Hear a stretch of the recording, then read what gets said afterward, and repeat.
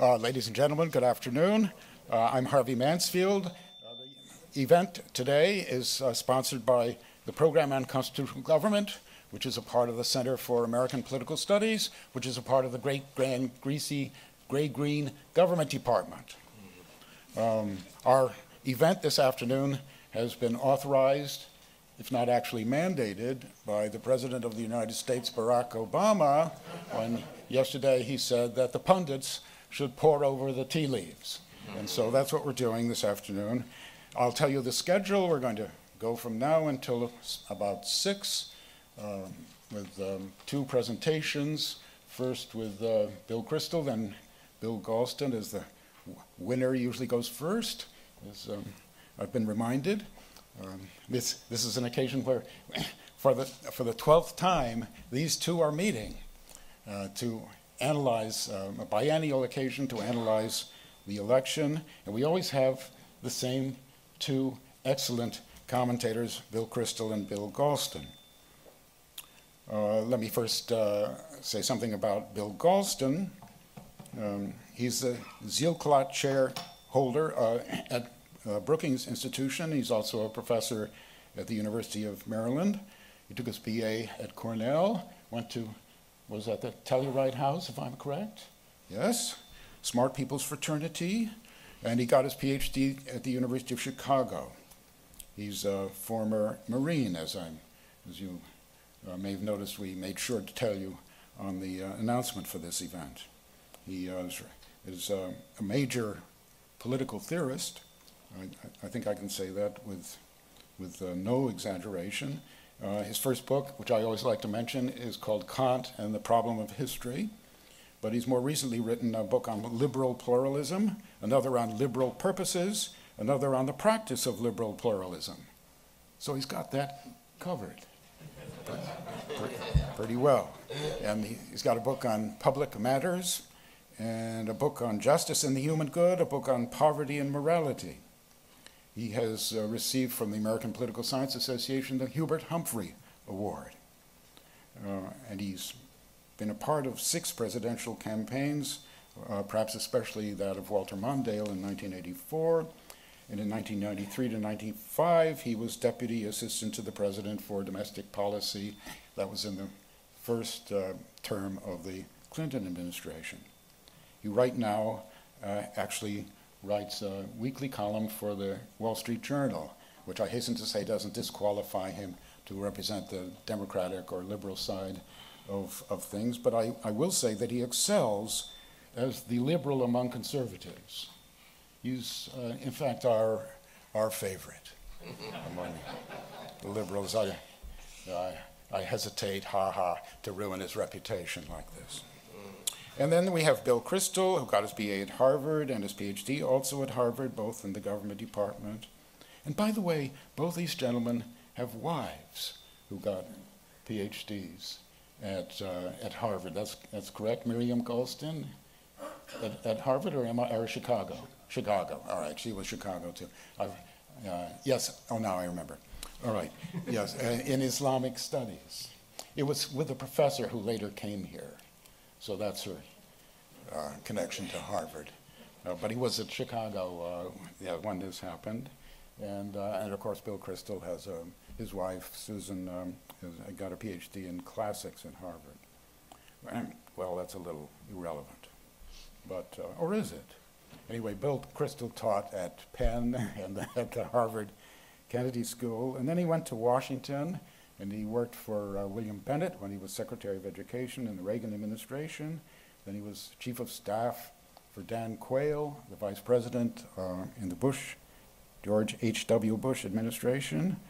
He wrote a book, um, he, well, uh, th then, he, then he became founder and editor of the Weekly Standard, America's foremost conservative magazine.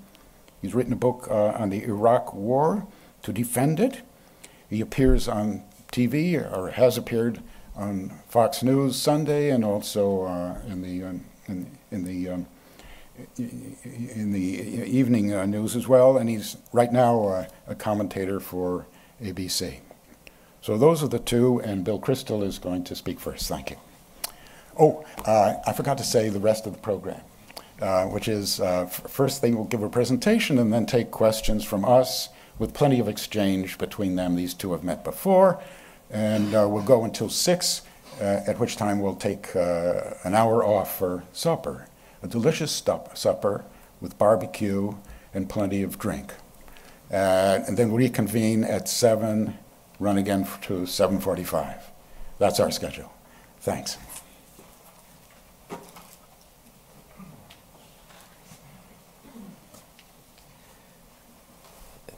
It's good to be back here, of course. Good to be back at Harvard. Uh, Harvey said that there, you know, I was representing the winners and Bill the losers, but of course there are no winners and losers. And a wonderful civic celebration of our common democratic citizenship. How can one even think of winners and losers? Really, it's funny. Um, yeah, the person who makes that joke is usually the winner. I should congratulate you all in Massachusetts here for electing a Republican governor. I, admire, I moved from Massachusetts to Virginia years ago, and I never thought I would see the day when I have a Democratic governor and two Democratic senators, and I come to have to come to Massachusetts to see a state that's governed by a fiscally responsible person. Um, the uh, I know most of you voted for him, I'm sure. Um, and Harvard, you know, Harvey's so proud, such a Harvard man. Harvard had an excellent election night. I'm not so sure this is being touted by the Harvard administration as much as it might otherwise be. But I think three of the Republicans who won Senate seats, two of them defeating Democratic incumbents, are Harvard graduates. Uh, Dan Sullivan from the, I think he's the class of 87, who won in Alaska, and is also Harvard Law School, so a double Harvard graduate. One and a half, maybe. Um, the, uh, and then um, Ben Sasse from class of 94, who then got a PhD in history at Yale as a conservative. He somehow slipped through the system there.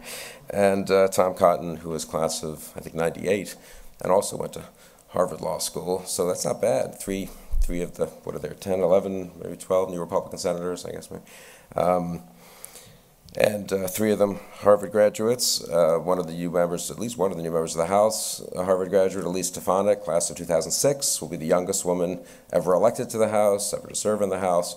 Won in upstate New York by 20 points in a Democratic district. Somehow I have this vague notion that if a 30 year old uh, female Harvard graduate had won as a um, pro choice uh, Democrat, running on women's issues, taking over a Republican seat. There would be a lot of talk about that in Harvard circles and maybe even by the Harvard administration. And, and I, I, don't have her, I don't think Elise has gotten her phone call yet from Drew Faust inviting her to come and be featured at some Kennedy School event. I'm not even sure that Tom or or Dan, Dan, Danny Sullivan or, or Ben Sasse have gotten their calls. But I'm sure they will be recognized. Seth Moulton, actually a friend of mine. I should, this is like you, Harvey damaging Bill Galston's reputation. Seth Moulton, a wonderful guy, a Democrat who won a primary against an incumbent Democrat here in Massachusetts, did win also. He's saved from, he's worthy of praise because even though a Democrat like Bill, he's a Marine. So the, uh, that's my, the one category of Democrats I actually, I actually phrase. So I, I, think there may have been a couple of Harvard grads who, I mean, there were some Harvard grads who got reelected on the Democratic side. I'm not sure if any of the new, there weren't that many new Democrats, but I'm not sure if any of the new ones are, are from Harvard. So it was a good, a good evening for uh, Massachusetts. You got a good governor. Good evening for Harvard. Good evening for the country what more is there to say? um, I actually will be brief. I, first of all, I feel like I've been talking about this election for more than 48 hours. Um, and uh, I think Bill's probably gonna spent a little more time looking at some of the data, some of the exit polls. I mean, it's pretty straightforward, honestly. It looks a lot like 2010. A good off year election uh, for Republicans, very good, actually. The numbers were a little bigger in 2010. If you just look at the national uh, vote for the House, which is probably the best proxy for just where the country, where the electorate at least, uh, who voted were. I think 2010 was almost plus seven Republican. This was plus five, point a little bit, I think. Republican 2006, which was the big Democratic wave, was plus seven Democratic. So it's the last three off-year elections, for whatever reason, have been, I think you could call them wave elections, uh, with a big turnover.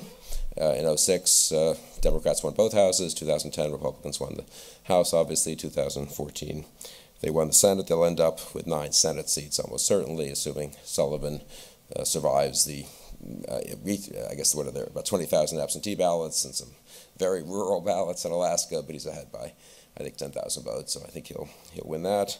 Uh, he's ahead by three percent, and I there's a Louisiana runoff, which you'd have to say the Republican will be favored in, since the they each got about 41, 42 percent, Landrieu and Cassidy, but the person with 13 percent running third was a conservative Republican, more conservative than Cassidy. Presumably that vote goes to Cassidy. So I think the Republicans ended up plus nine in the Senate. I think what plus 13, 14 is a little unclear in the House. Picked up three governorships, it looks like, which was unexpected. I think most people thought they would lose. Uh, at least one or two, including all kinds of New England governorships, or at least a couple, Massachusetts and Maine big Midwestern swath were either held or won by the Republicans, Michigan, Ohio, Wisconsin, all held. Uh, Illinois won. Um, Republicans now control, I think, 31 governors. We'll have in the range of 248, 250 House members, which will be the largest Republican representation in the House since either 1947 or 1928, depending on exactly where they end up. Um, about 54 senators, the Republicans control 69 of 99 uh, legislative chambers. So actually, it's a pretty, genuinely a pretty good and pretty deep showing for the Republicans. The obvious caveat, which Democrats have been quick to mention, but correctly, is Republicans do better in the off-year elections. That's a better electorate for Republicans, and that they have yet to prove that they can win by much of a margin in a presidential election since the Cold War. Uh, the only one they won with any margin really was Bush in, in 04, and that was a reelect, and that was pretty close. Uh, and obviously they lost the popular vote in the other five. So the huge question and challenge for the Republicans is whether this ability to win off-year elections and state-level elections and legislative elections could possibly be sustained in a presidential election. That's really what 2016 will be about.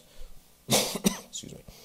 Um, uh, I love the media coverage of the election where uh, the numbers are very, I'd say mostly not very provocative. I mean, they're pretty much what one would have guessed in some of the polling numbers. Uh, do you think the country's on the right track or the wrong track?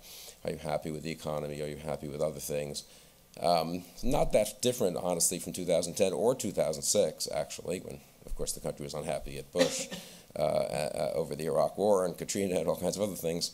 Um, and then in 10 and 14, we're unhappy at Obama. Somehow this election peculiarly has been described by the media as, you know, a, a wave of anger. I saw that was in the New York Daily News, a wave of discontent. Uh, somehow when the Democrats took over both houses, it was a wave of hope and change. And uh, I think of it as a wave of hope and change, personally. I'm, I'm not angry. I'm not discontent with the results, a little discontent with President Obama's policies. I looked around at all those Republican victory parties Tuesday night. They look like cheerful, happy people. So I'm calling it a happy wave, not a not an angry or discontent wave. And honestly, of course, the country is unhappy because there's a lot to be unhappy about. But those numbers are not radically different from what they've been over the last 10 years in terms of right track, wrong track, anti-incumbent sentiment. Do you like Congress? Do you like your own parties? Neither party's popular.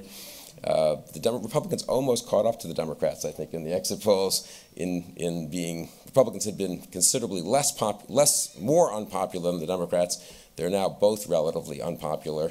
The Republicans did better because, interestingly, more Republican voters were willing to, at one and the same time, say they didn't like their party, they didn't like their party's leadership, and then go vote for a Republican candidate. And presumably that's because they nonetheless thought it was the lesser of two evils, or they wanted to send a message uh, about President Obama. And The Democrats, were they just wanted someone to stop President Obama for his last two years, and they were, weren't so worried about the fact that the Republican message or the party itself wasn't too attractive. That's obviously a big challenge for Republicans. But the good news is the parties, as parties now, are on a pretty close to a level um, playing field in terms of public opinion. Um, I'll just make a few points, actually, uh, about where we go from here.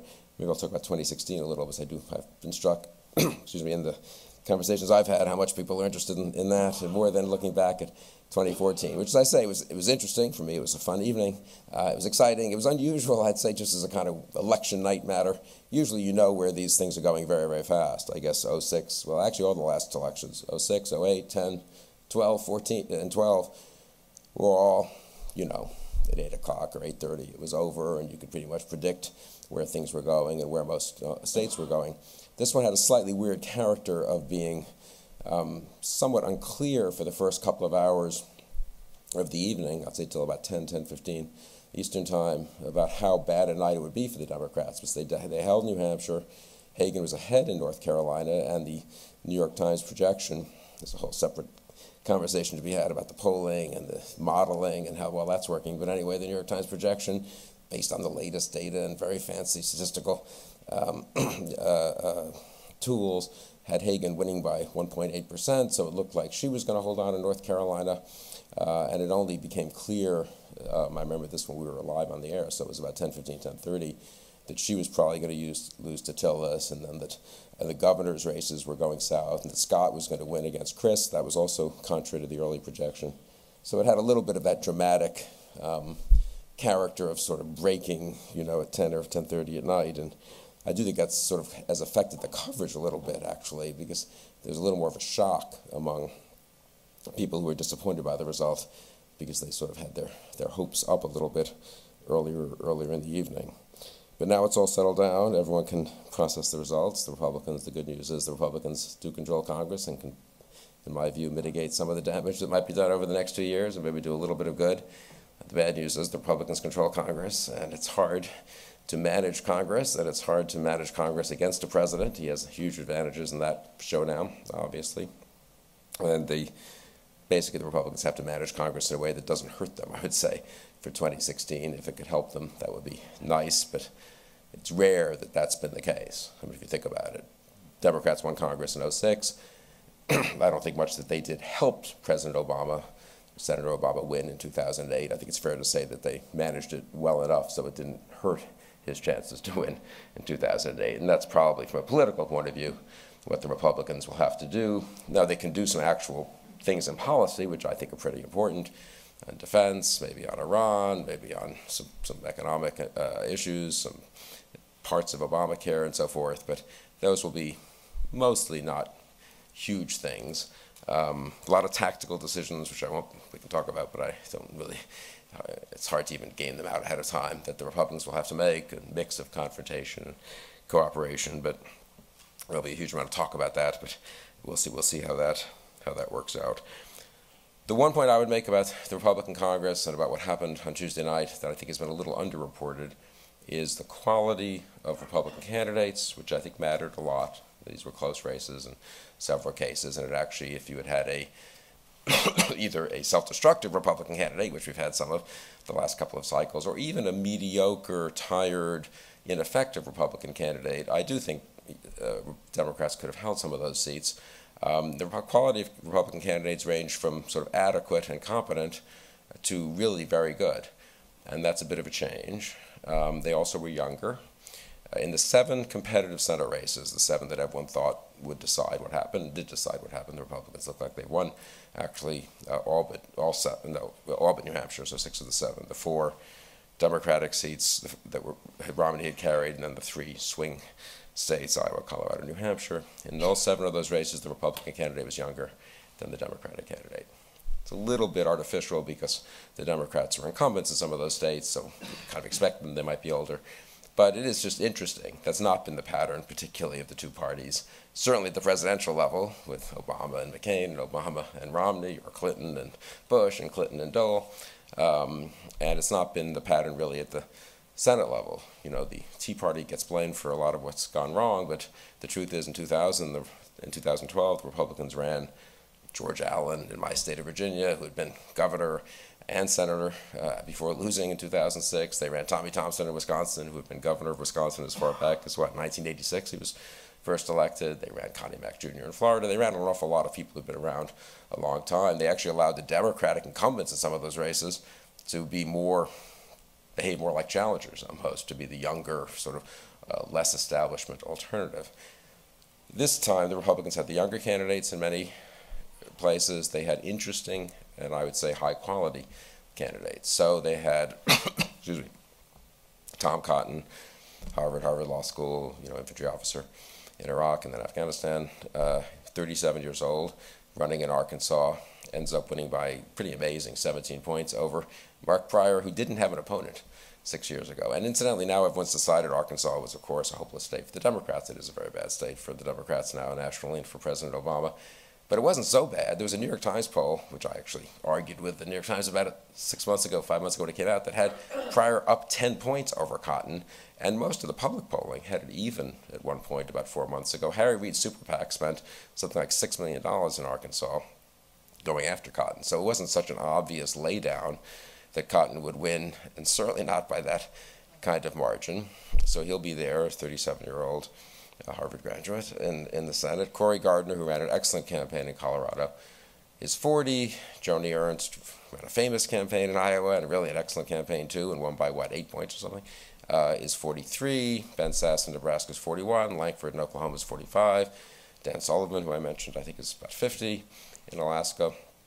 Very bright guy. Um, I mean, it's an unusual crop of Republican senators. And in the House, in addition to Elise Stefanik and in upstate New York, in, on Suffolk County, the eastern part of Long Island. Uh, Lee Zeldin, who's 35 years old, also an Iraq War vet, uh, won by six points, defeated an incumbent Democrat, Tim Bishop. Um, Mia Love won in Utah, uh, an African American Mormon woman uh, who was, I don't know, 40, 42, something like that. I mean, the diversity and the youth, and I think the qualifications and the non conventional, not necessarily career politician character of a lot of the Republicans across the country is unusual. And from a Republican point of view, heartening and uh, helpful, I think. I do think when people look at the Republican, I mean, they'll still see Mitch McConnell, excuse me, they'll still see John Boehner, so I don't want to overstate the, the, uh, the difference. They'll also still see, I guess, Harry Reid and Nancy Pelosi. So after all this change election, we're going to have four congressional leaders who are, you know, uh, been around a long time and, and aren't exactly uh, spring chickens, but um, but they will turn on their TV and see. And if the Republicans are smart, I think they would showcase some of these younger senators in Congress. Ben Sasse really knows a lot about health care. He was Assistant Secretary for Policy in the last couple of years of the Bush administration on, on health care. He, has he really could articulate a conservative alternative to Obamacare. Tom Cotton really knows foreign and defense policy, among other topics. Um, Sullivan was Commissioner of Natural Resources in Alaska, really knows energy policy well. I mean, you can imagine these people being spokesmen for the party. It's not going to make a huge difference, but it, again, it will be helpful, I think, to a party that has looked very um, sort of old and somewhat backward looking. So for me, I mean, from a Republican point of view, I think that's the most interesting thing about what happened in this in these elections: quality, not just not just quantity. I would say the same, incidentally, about some of the governors, Walker, Snyder, uh, in, in Wisconsin, obviously, and Michigan. Um, others, Baker here in Massachusetts. I mean, if you go around to look at the governors, they're not sort of hacks who've just kind of checked the box on their, you know, finally they make it to the state house at the end. There are a few of those who've been around for a while, but a lot of pretty interesting people with pretty interesting backgrounds. Let me say a word about 2016 and let Phil uh, give you a more serious presentation of what what happened, more sober presentation of what happened. Um, for me, 2016. I mean, it's a very for me 2016 is a huge question mark in so many ways. An open seat election. On the one hand, if you're a Republican, I mean, this is a very well, pretty well established pattern in American politics that the American uh, public seems to like to turn parties out of office every eight years, out of the White House every eight years. They like to reelect presidents Every president who has avoided a primary challenge has won re-election since Herbert Hoover. So the one thing you have to do is avoid a primary challenge. I've always thought that Barack Obama putting Hillary Clinton in his cabinet the week after he was elected in 2008 was the best political thing he did, uh, as you know, in terms of ensuring that he had a decent shot at re-election. And then he, you know, ran a good campaign and all that too, and, and made it through with 51, 52 percent of the vote. But if you can avoid a primary challenge, you're in good shape to get re-elected but that doesn't obviously do any good for your successor, uh, and successors to two-term presidents usually lose. The only time that hasn't happened was in 88 when George H.W. Bush, in effect, won Ronald Reagan's third term, if you want to put it that way, uh, and Reagan had about a 57% approval rating. In November of 88, Bush got 54% of the vote. Um, you know, if, we'll see what Obama's approval rating is two years from now, but if it's 43, 44, wherever it is now, that's not as promising for his Democratic successor as Reagan's approval rating was. I actually did a quick, you know, back of the envelope study of this uh, a few weeks ago. Um, actually, it's pretty amazingly consistent. The, the vote for the successor to a reelected incumbent president tends to drop by six, seven, eight points from what the incumbent got. It's a pretty, it holds actually sort of weirdly well. So I mean, I'll, I'll, give you these numbers off the top of my head, so they won't be right. But Reagan got about 60, 60% of the vote, I think, in 84. Bush dropped about six points to 54% in 82. Um, uh, Clinton got uh, about an eight point margin. I think he beat Dole by in 96. Gore Bush was tied basically in 2000. Bush won by three in 2004. McCain lost by, what about six in 2000, maybe seven in 2008. So there's kind of a pretty consistent pattern, it seems, that you just lose six, seven, eight percent of the electorate when it's no longer keeping the same president in office but electing someone else from the same party after eight years. And if that were to hold, obviously, Obama having gotten, the Democrats having gotten under President Obama about 51% of the vote in 2012, if there's anything like that 5, 6, 7% drop off, that's not good for the Democrats in, in 2016. Now, that's obviously one of these simple historical patterns that A, it's not such a big pattern, it's five or six or seven races, so, and B, of course, it could change at any time, and it may well change. But I do think that eight year pattern of turning out the party in power and the drop off from the previous election uh, is what would be worrisome if I were a Democrat about the chances of holding the White House in 2016. The thing the Democrats have going for them is that they have won the popular vote in five of six of the post Cold War elections. So they seem to just have a somewhat of a natural, slight, I would say, advantage um, in the presidential years. Demography is helping them some. This tends to be overstated, but by probably a point over a four-year cycle. So that doesn't that doesn't hurt. Um, and the main thing that would encourage me if I were a Democrat is that Hillary Clinton's actually winning all the polls against Republican uh, candidates. And that's not nothing. I mean, it's two years out. It's ridiculous to do polls in a way two years ahead of time. On the other hand, everyone knows who Hillary Clinton is. Um, her record in public office is over until the election, so there's no new data, presumably, that will come in particularly on her. The Republicans aren't as well known, but maybe they can improve their numbers some by getting better known. But it is striking, whether it's Jeb Bush or Rand Paul or Christie or Rubio. I mean, Hillary Clinton pretty consistently beats them by seven, eight, nine, ten points nationally. Maybe that will just hold up. You know, maybe that's where the country is. They want, they like Hillary Clinton, they respect her, they want the first woman president, they slightly prefer the Democrats anyway, and the, Demo and the Democrats overcome the normal problems of a third term for the same party in 2016. Um, on the other hand, it was striking, well, in the same vein, first of all, in the exit polls, they asked I'm not sure how reliable these numbers are. Maybe Bill has looked more closely at how they exactly got them. Since the exit polls, of course, is not really a national poll. You know, they're polling particular precincts to match up with the vote so they can project elections. They can then do certain, obviously, operations to try to see what the national numbers should be, given what the numbers in all these different precincts are, given that you know where the, what the politics of these different precincts are, right? But it's a little bit artificial. It's not like calling a thousand people who really are you know, system randomly but systematically selected to be representative, presumably, of the country and getting some number. That could be wrong too, but, but in a different way. In the exit polls, however, uh, presumably they know what they're doing. Um, they asked, "Do you think Hillary Clinton?" And then they asked this about four Republicans would make a good president. Forty-three percent said yes of the whole electorate on, uh, on election day, two days ago, said yes to Hillary let's assume that the electorate in 2016 is, I don't know, three points more Democratic or something. So that's 46. That's not bad. I mean, that just saying she should be a good president. That probably is, in fact, what she would sort of start out with. I don't think she'll go much below that in the election. No Republican, they asked about four Republicans Jeb Bush, Rand Paul, Christie, and can't remember who the fourth was. Um, someone pretty well known, though, uh, Rick Perry. And they were all in the 20s. Jeb was like 29, then someone else was 26, 26, 24 said, would you just object, you know, just not a, not a matchup question, but just do you think he or she would be a good president? So that's pretty good. If you're Hillary Clinton, you're at 43 and the others are in the 20s. On the other hand, they also asked in a matchup, who would you prefer to be the next president? Hillary Clinton, the Democrat, or a Republican? Which is sort of a weird question, but it probably captures something, you know, how open people are to not being for Hillary, let's put it that way. And that uh, Hillary Clinton had 34%, the Republican had 39%. So that was a pure match to the five point Republican generic lead from the whole evening.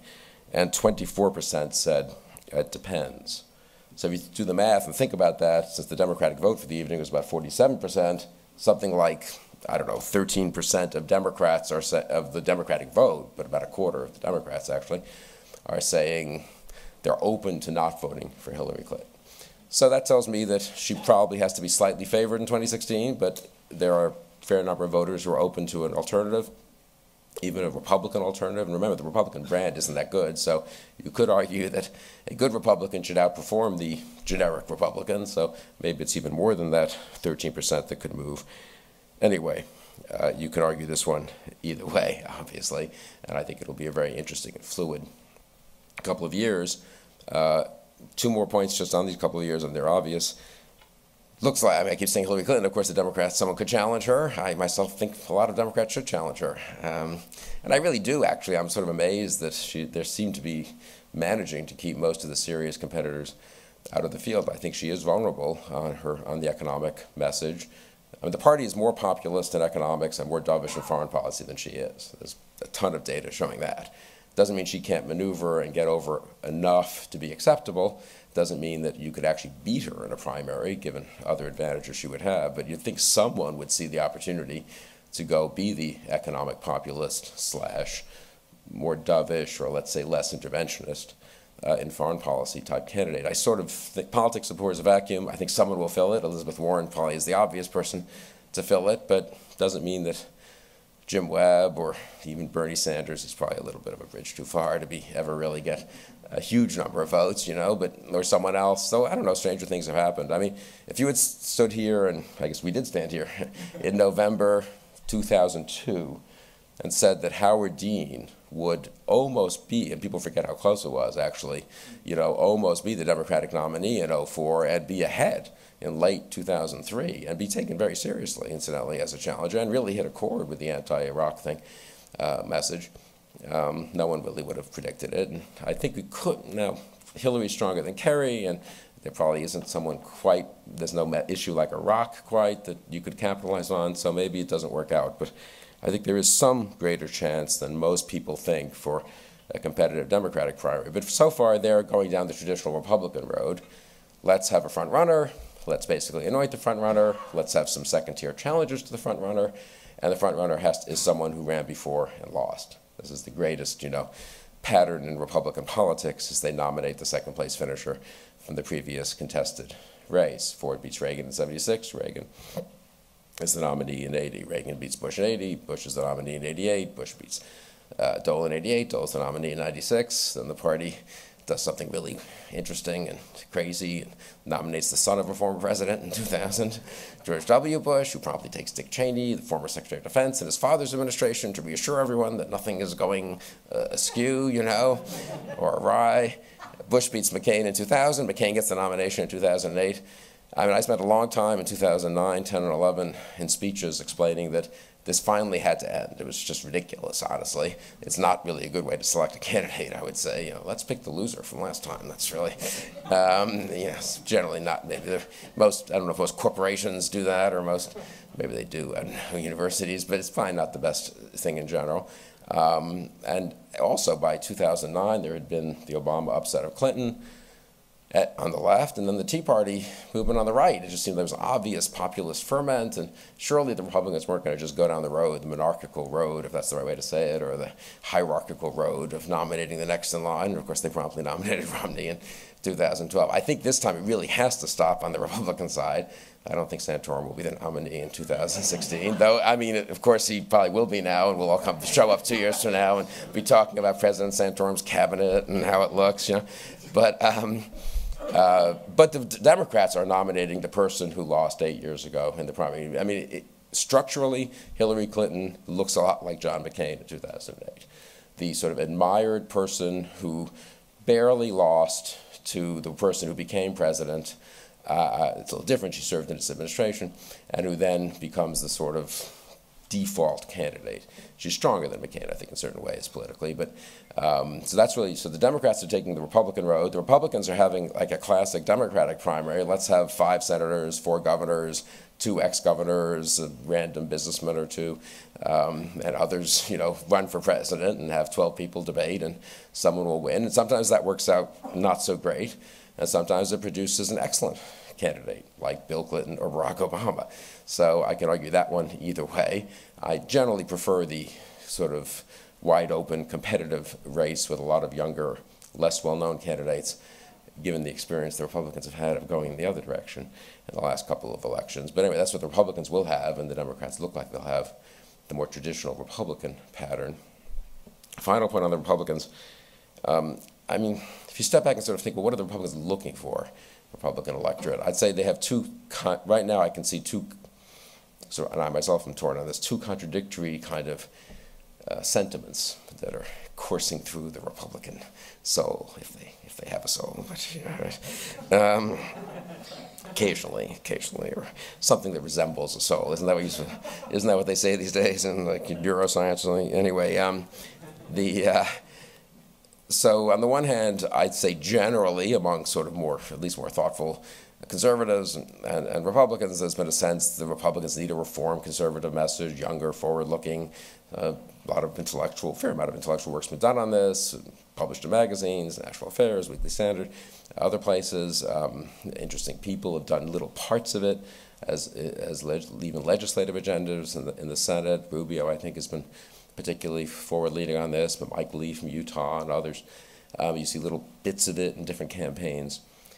So that the conservative reform agenda, younger candidate, next generation, Republicans finally get to have the 44-year-old candidate, and the Democrats have the 65-year-old candidate. I mean, that sort of has been very much, I think, the conventional Republican view of how 2016 might and should shape up. And that leads you to a Rubio or Walker or Cruz, if you want a more conservative version of this, uh, Jindal, whatever type candidacy. Maybe Christie is not clear. If he, I guess he would fit into that too. Um, the other way to think about 2016 is, you know, the world is in total chaos. Everything's falling apart. The economy's no good. Um, we need someone tough and competent and experienced in the Oval Office. And it's very nice to have all this fancy, reform conservative, complicated, you know, fresh thinking, but maybe we could just have someone who Putin would be a little scared of and who would know how to stop ISIS from slaughtering tens of thousands of people in the Middle East and who would do one or two simple things to get the economy going.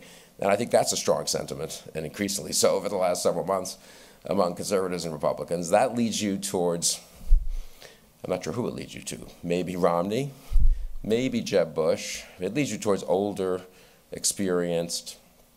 Rick Perry, if he were maybe a little, if he had had, had such a disastrous campaign in 2012, actually, it does sort of fit that model, sort of tough guy, not super subtle, but you know what? His state created, didn't it, like half the jobs in America over the last 12 years, and he served in the military, and he probably is a pretty tough guy and would, you know, make the right big decisions and not sweat the details, which has a certain uh, attraction to us conservatives, you know.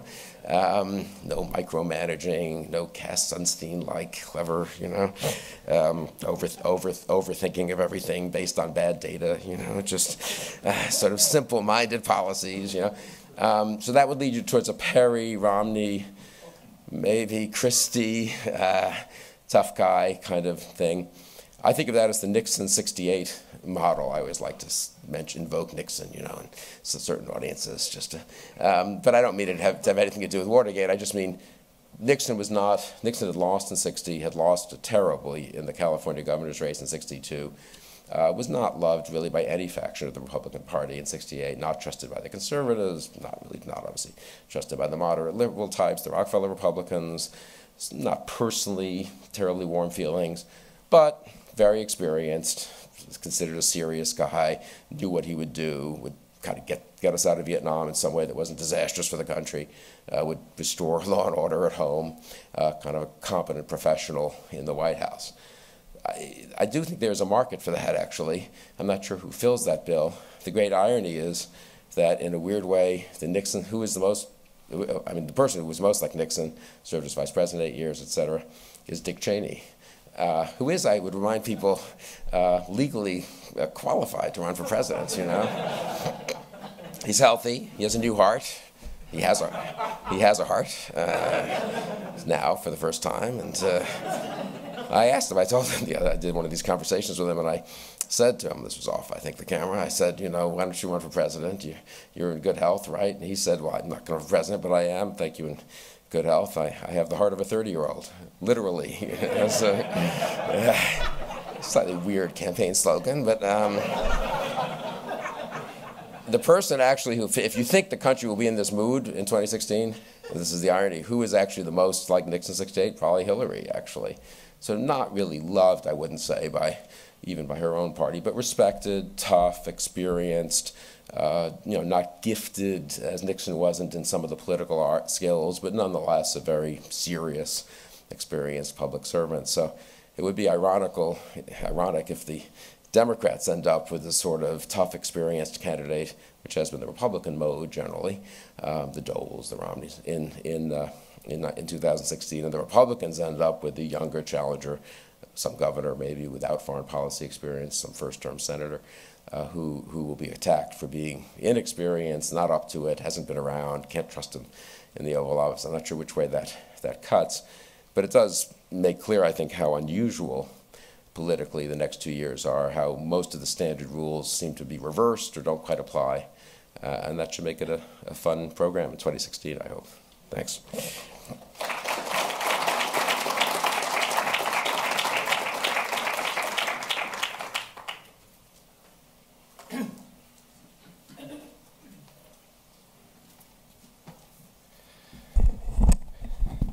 Well, um, I think perhaps we're the Republicans are headed for a Wizard of Oz primary, where one candidate saying, if I only had a heart, the other one, you know, ex-governor of Texas, if I only had a brain, you know, and you can, you can fill in the blanks with the rest. Uh, I have no, you know, I, I have no quarrel with Bill Kristol's description of what happened on, on Tuesday night. My back of the envelope calculation suggests that the Republican edge was more like four and a half, but when all the votes are counted, it might turn out to be five or, five or a bit more. It was a comprehensive victory from top to bottom, period, full stop. Now, why did, why did it happen? Uh, in some respects, it was, I would say, overdetermined. If you look at history, you know, six year, the sixth year of a two-term president's administration is rarely pretty for the president's party.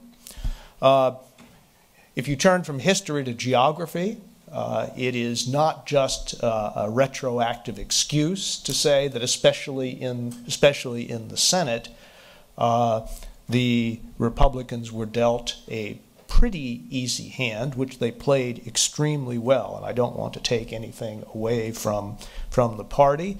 Uh, political parties are slow learners, but they do learn. And I think that the Republican leadership learned some important lessons from failures in the Senate races in 2010 and 2012, and a number of very well sourced uh, new articles have come out in the past 48 hours about just how intentional uh, and, uh, and, and relentless the Republican leadership was this time around in, in shoving uh, bad candidates or even risky candidates to the, to the sidelines. Uh, we also have the fact that our highly polarized party system has generated, we can go into the details on this in the Q&A if you're interested, it has generated a presidential party and a congressional party. And there are some structural reasons why.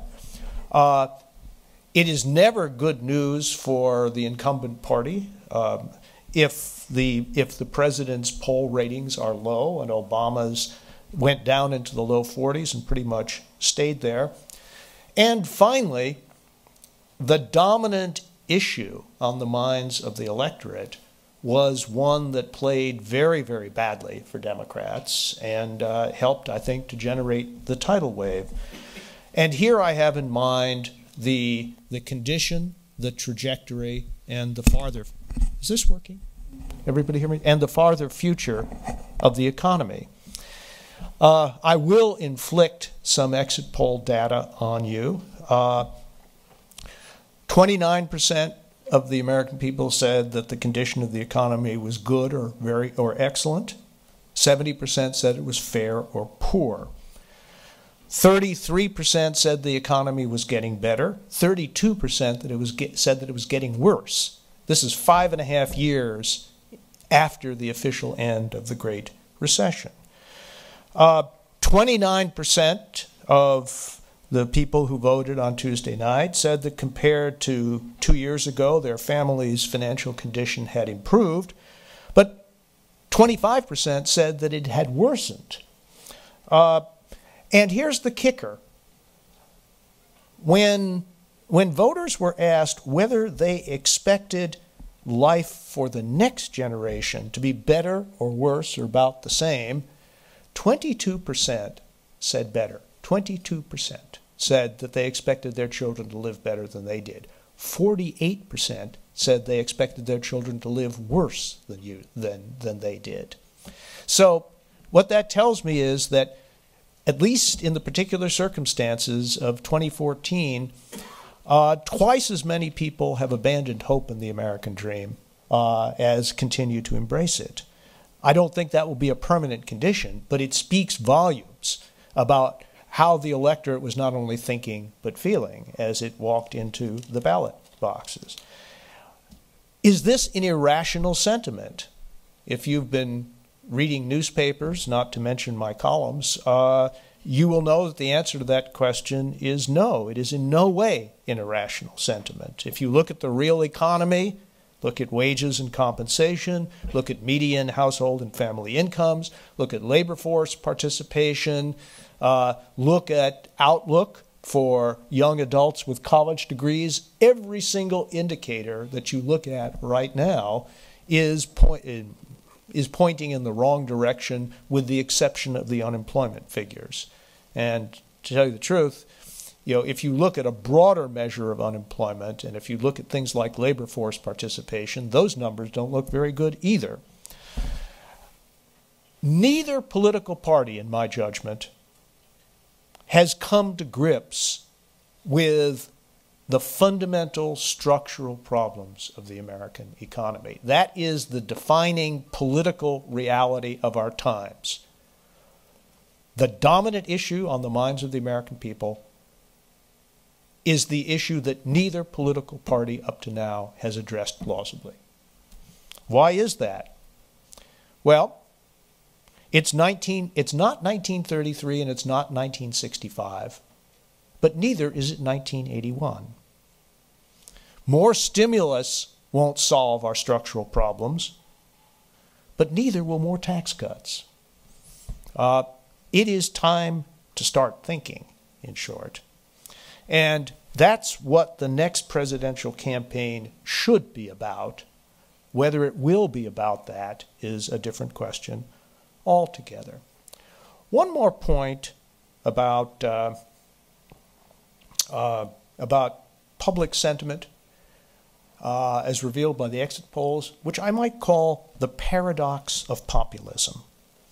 Okay, here, put these two findings side by side.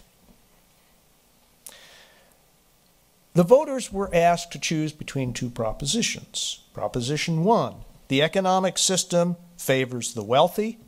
Proposition number two it's fair to most people.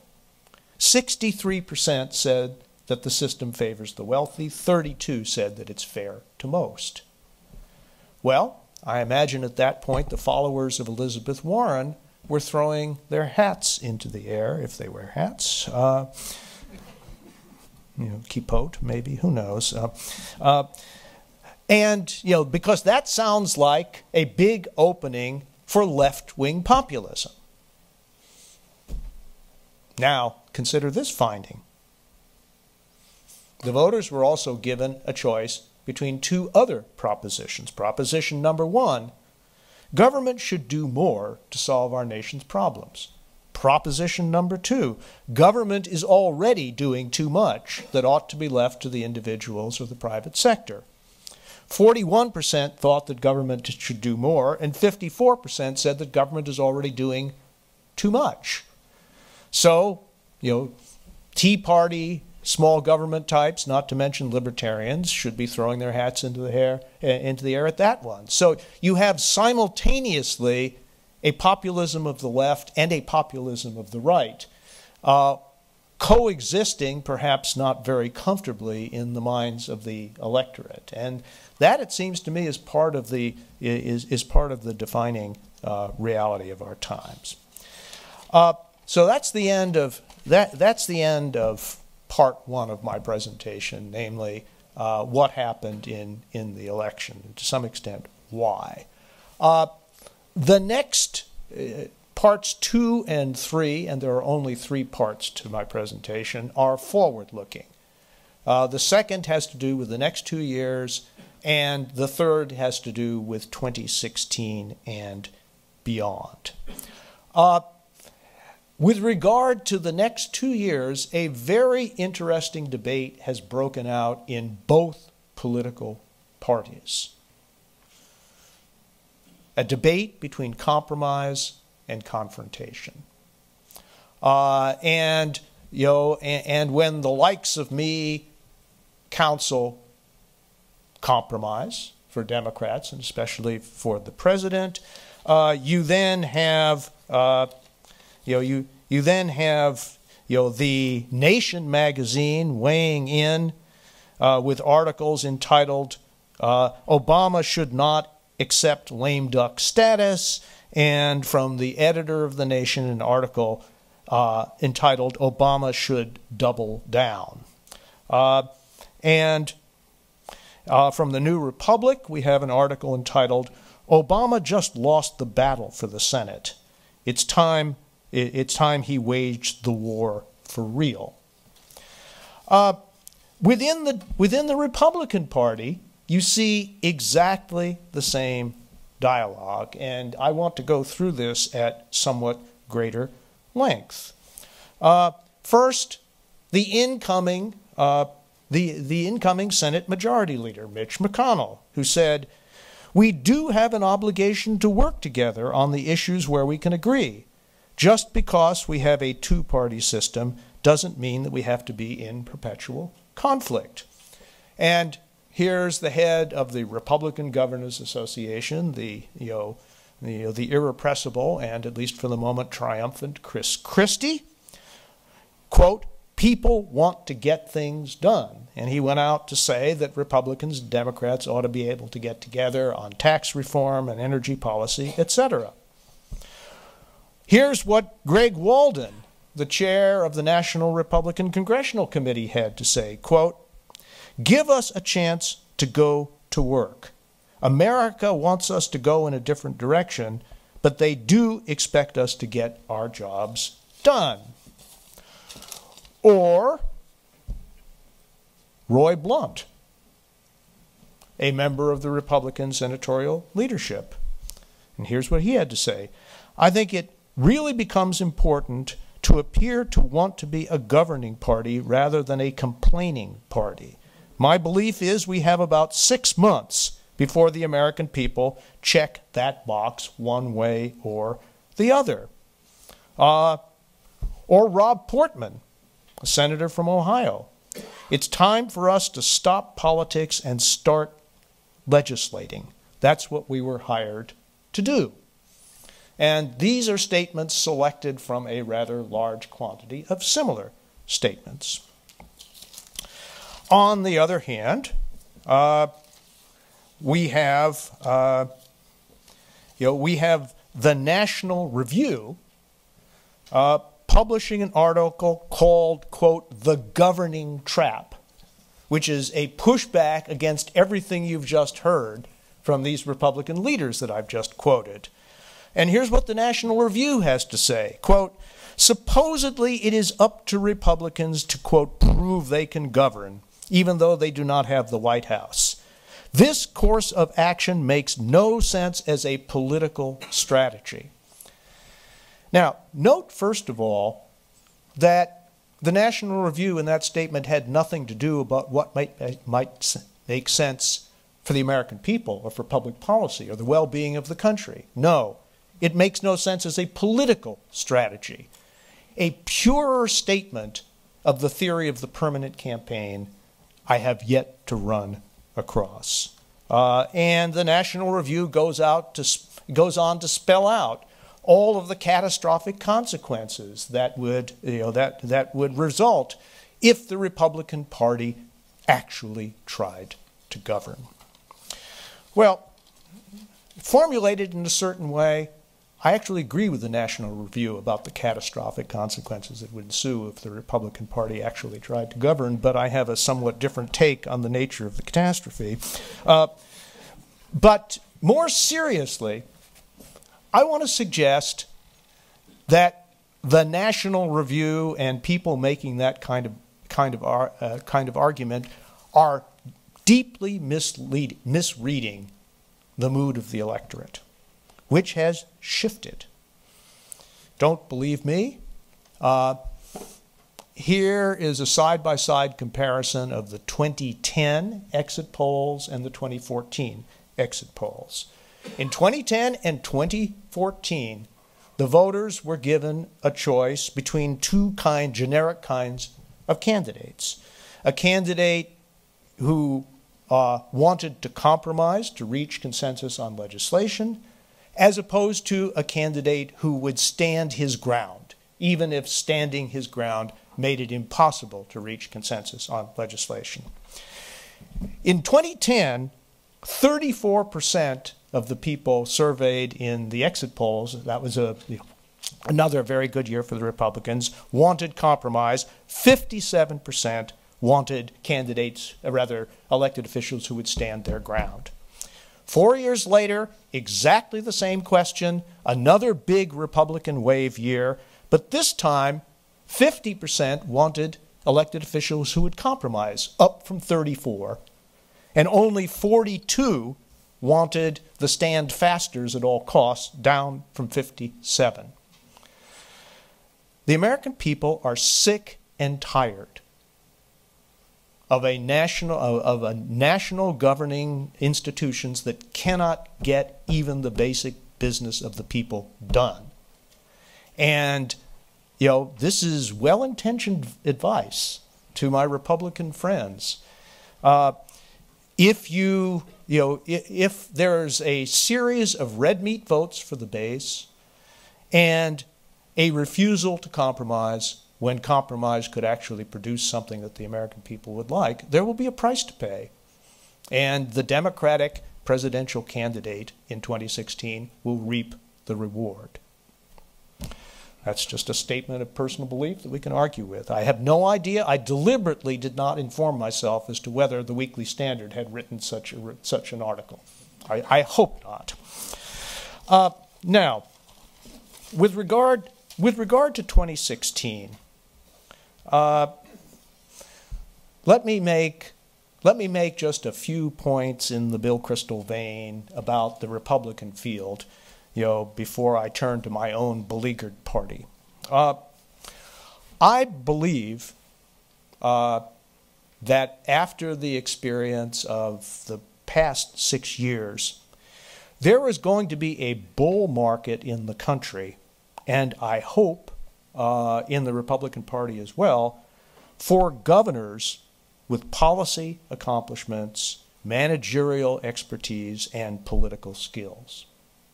And I think there are a lot of Republicans, current governors and past governors, who meet that standard.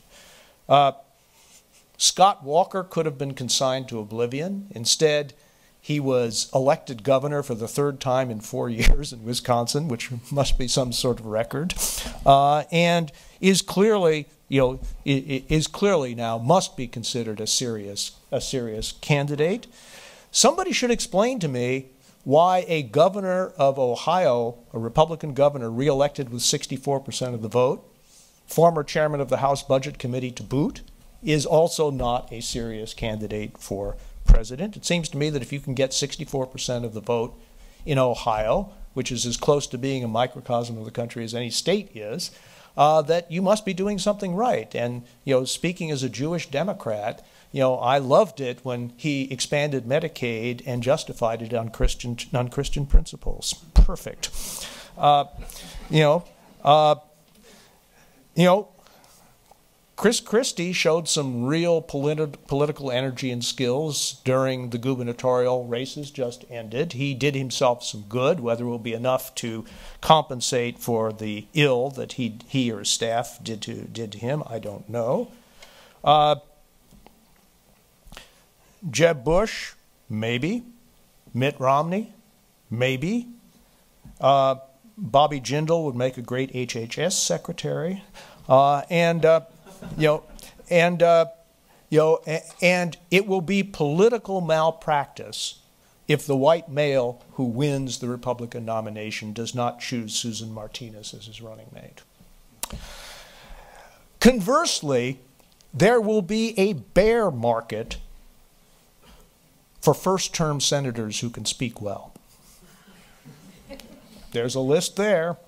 Uh, I don't think I don't think the country will want to go down that road in 2016. Maybe 2020, not 2016. It will be an election, in all probability, 2016, where the basic issues of the economy and American security and foreign policy will be dominant which means that candidates who lead with the social issues, I think, will be marginal this time around. I cannot, I cannot imagine a Mike Huckabee or a Rick Santorum or anyone like that uh, uh, leading with social issues and actually winning the nomination. And speaking of foreign policy, the most interesting Republican in the race is Rand Paul. He is actually making a serious, principled argument However, the shift in the global situation, I think, has dramatically weakened the case that he could bring to the primary electorate of his own party. Finally, with regard, with regard to Republicans, uh, I agree with Bill about the quality of the Republican of the Republican candidates this time around, and what that means, among other things, is that discipline in speech and personal conduct, and the capacity, uh, an affirmative and moderate demeanor does make a difference, a big difference, whatever the policy specifics. And you know, on paper, someone like Cory Gardner looked very vulnerable. But he was almost Reagan esque in his sunny optimism and his ability to slip what might have been for others a knockout punch. He showed some real political skills. And, you know, that kind of demeanor, uh, a demeanor of optimism and good cheer, has always played better in American politics than the politics of anger, uh, and especially at the presidential level. You know, I do not believe that the Republican Party will nominate someone whose presenting affect is rage, and there are such people. Uh, with regard to with regard to my own beleaguered party, uh, uh, there are some serious problems that go beyond the fact, you know, as an article in Politico pointed out this morning, that an entire generation of Democrats sitting on the bench uh, has been wiped out, uh, and it's it's by no means clear uh, that the people in AAA are even ready to be promoted to be bench warmers in the majors. Uh, but more seriously, there are some real cracks in the Obama coalition. Uh, and I will make four points very briefly. First of all, young adults are no more likely to be Republicans than they were in 2008, but they are less likely to be Democrats. And a lot of young, young, uh, young adults who were mobilized into politics in 2008 have been demobilized and now say that they want social change, but they don't think that political activism is the way to achieve it.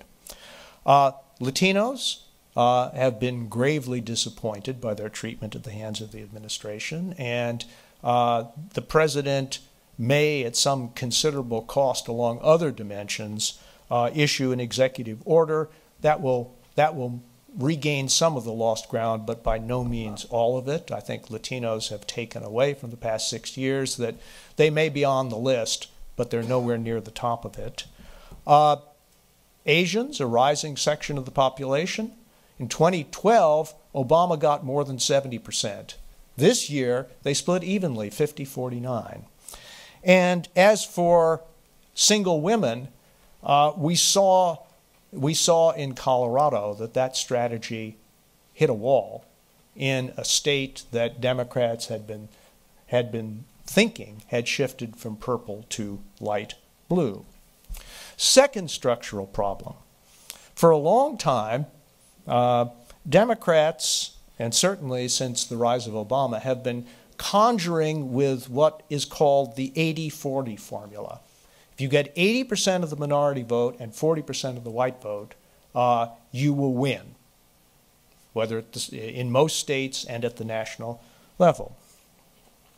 Well, let me read you six numbers 37, 37, 33, 31, 23, 18. That's the Democrat share of the white vote in sequentially Virginia, Kentucky, North Carolina, Arkansas, Georgia, and Louisiana. Uh, the Democrat share of the white vote nationwide was 38. Uh, I think there was a theory in my party that, well, 40% was sort of the floor on Democrats' support among whites. I'm by no means convinced of that. Uh, there may be a sort of hydraulic, uh, uh, political hydraulics at work here when, uh, at beyond a certain point, an aggressive effort to maximize the vote among minorities may have, a, may have an opposite and more than equal reaction among white Americans. Third and penultimate point about the Democrats uh, there is now no credible alternative to Hillary Rodham Clinton.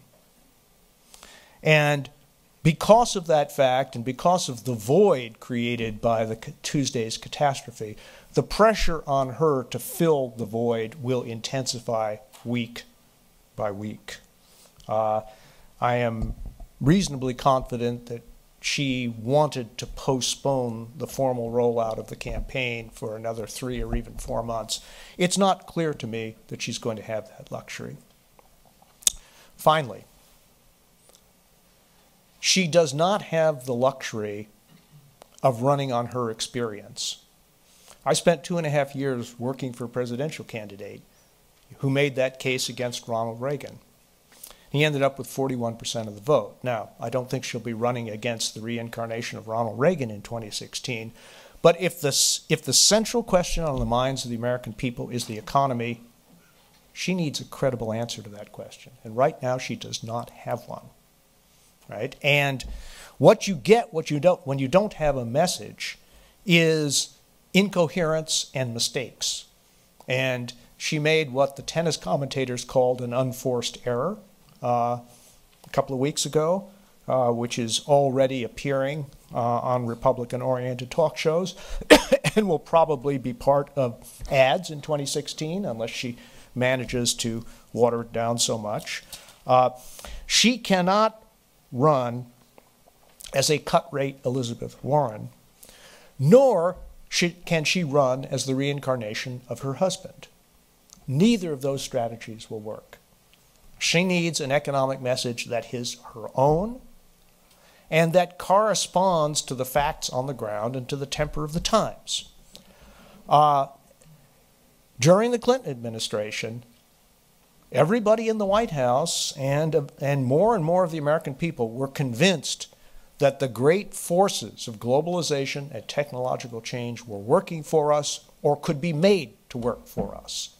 That confidence has collapsed and, you know, and I, I hope for the sake of our country that the next president of the United States has thought through where we are economically and is prepared to recommend to the Congress and the American people some really serious answers to these questions. And I say that not only because I believe in the American dream, but because I believe in democracy Uh, and democracy, for some people, is a good in and of itself. But for others, many others, it is a tree that is valued for its fruits. As we're finding out in Europe, as we found out in the 1920s and 1930s, and are finding out again, and as we could find out in this country if things don't get better, uh, a threat to middle class economic security is ultimately a threat to democratic institutions. Thank you.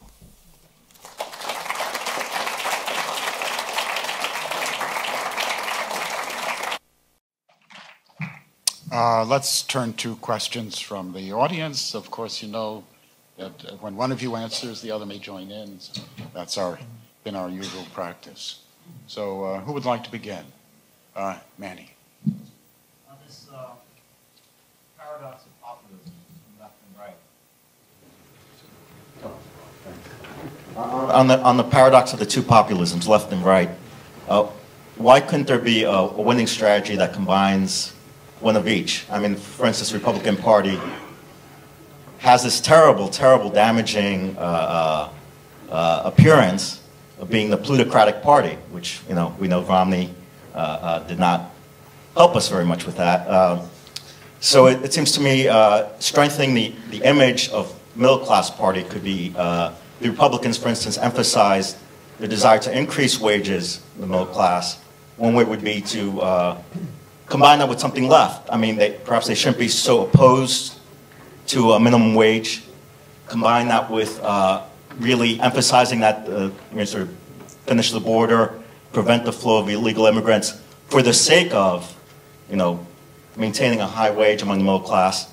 They can combine that with the opposition to Obamacare, partly because it's such a cozy relationship with big insurance and big pharma, special deals and so forth. So you, you get a little bit of uh, the Liz Warren message, the, the, healthier parts, I think, combined with uh, you know something pro middle class, something along those lines. Couldn't that work?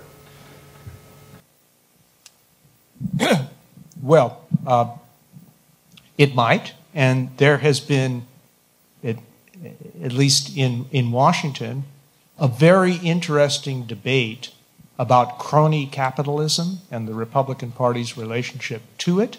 And you see that, and you see that debate you know, being crystallized in, for example, issues like the reauthorization of the Export Import Bank.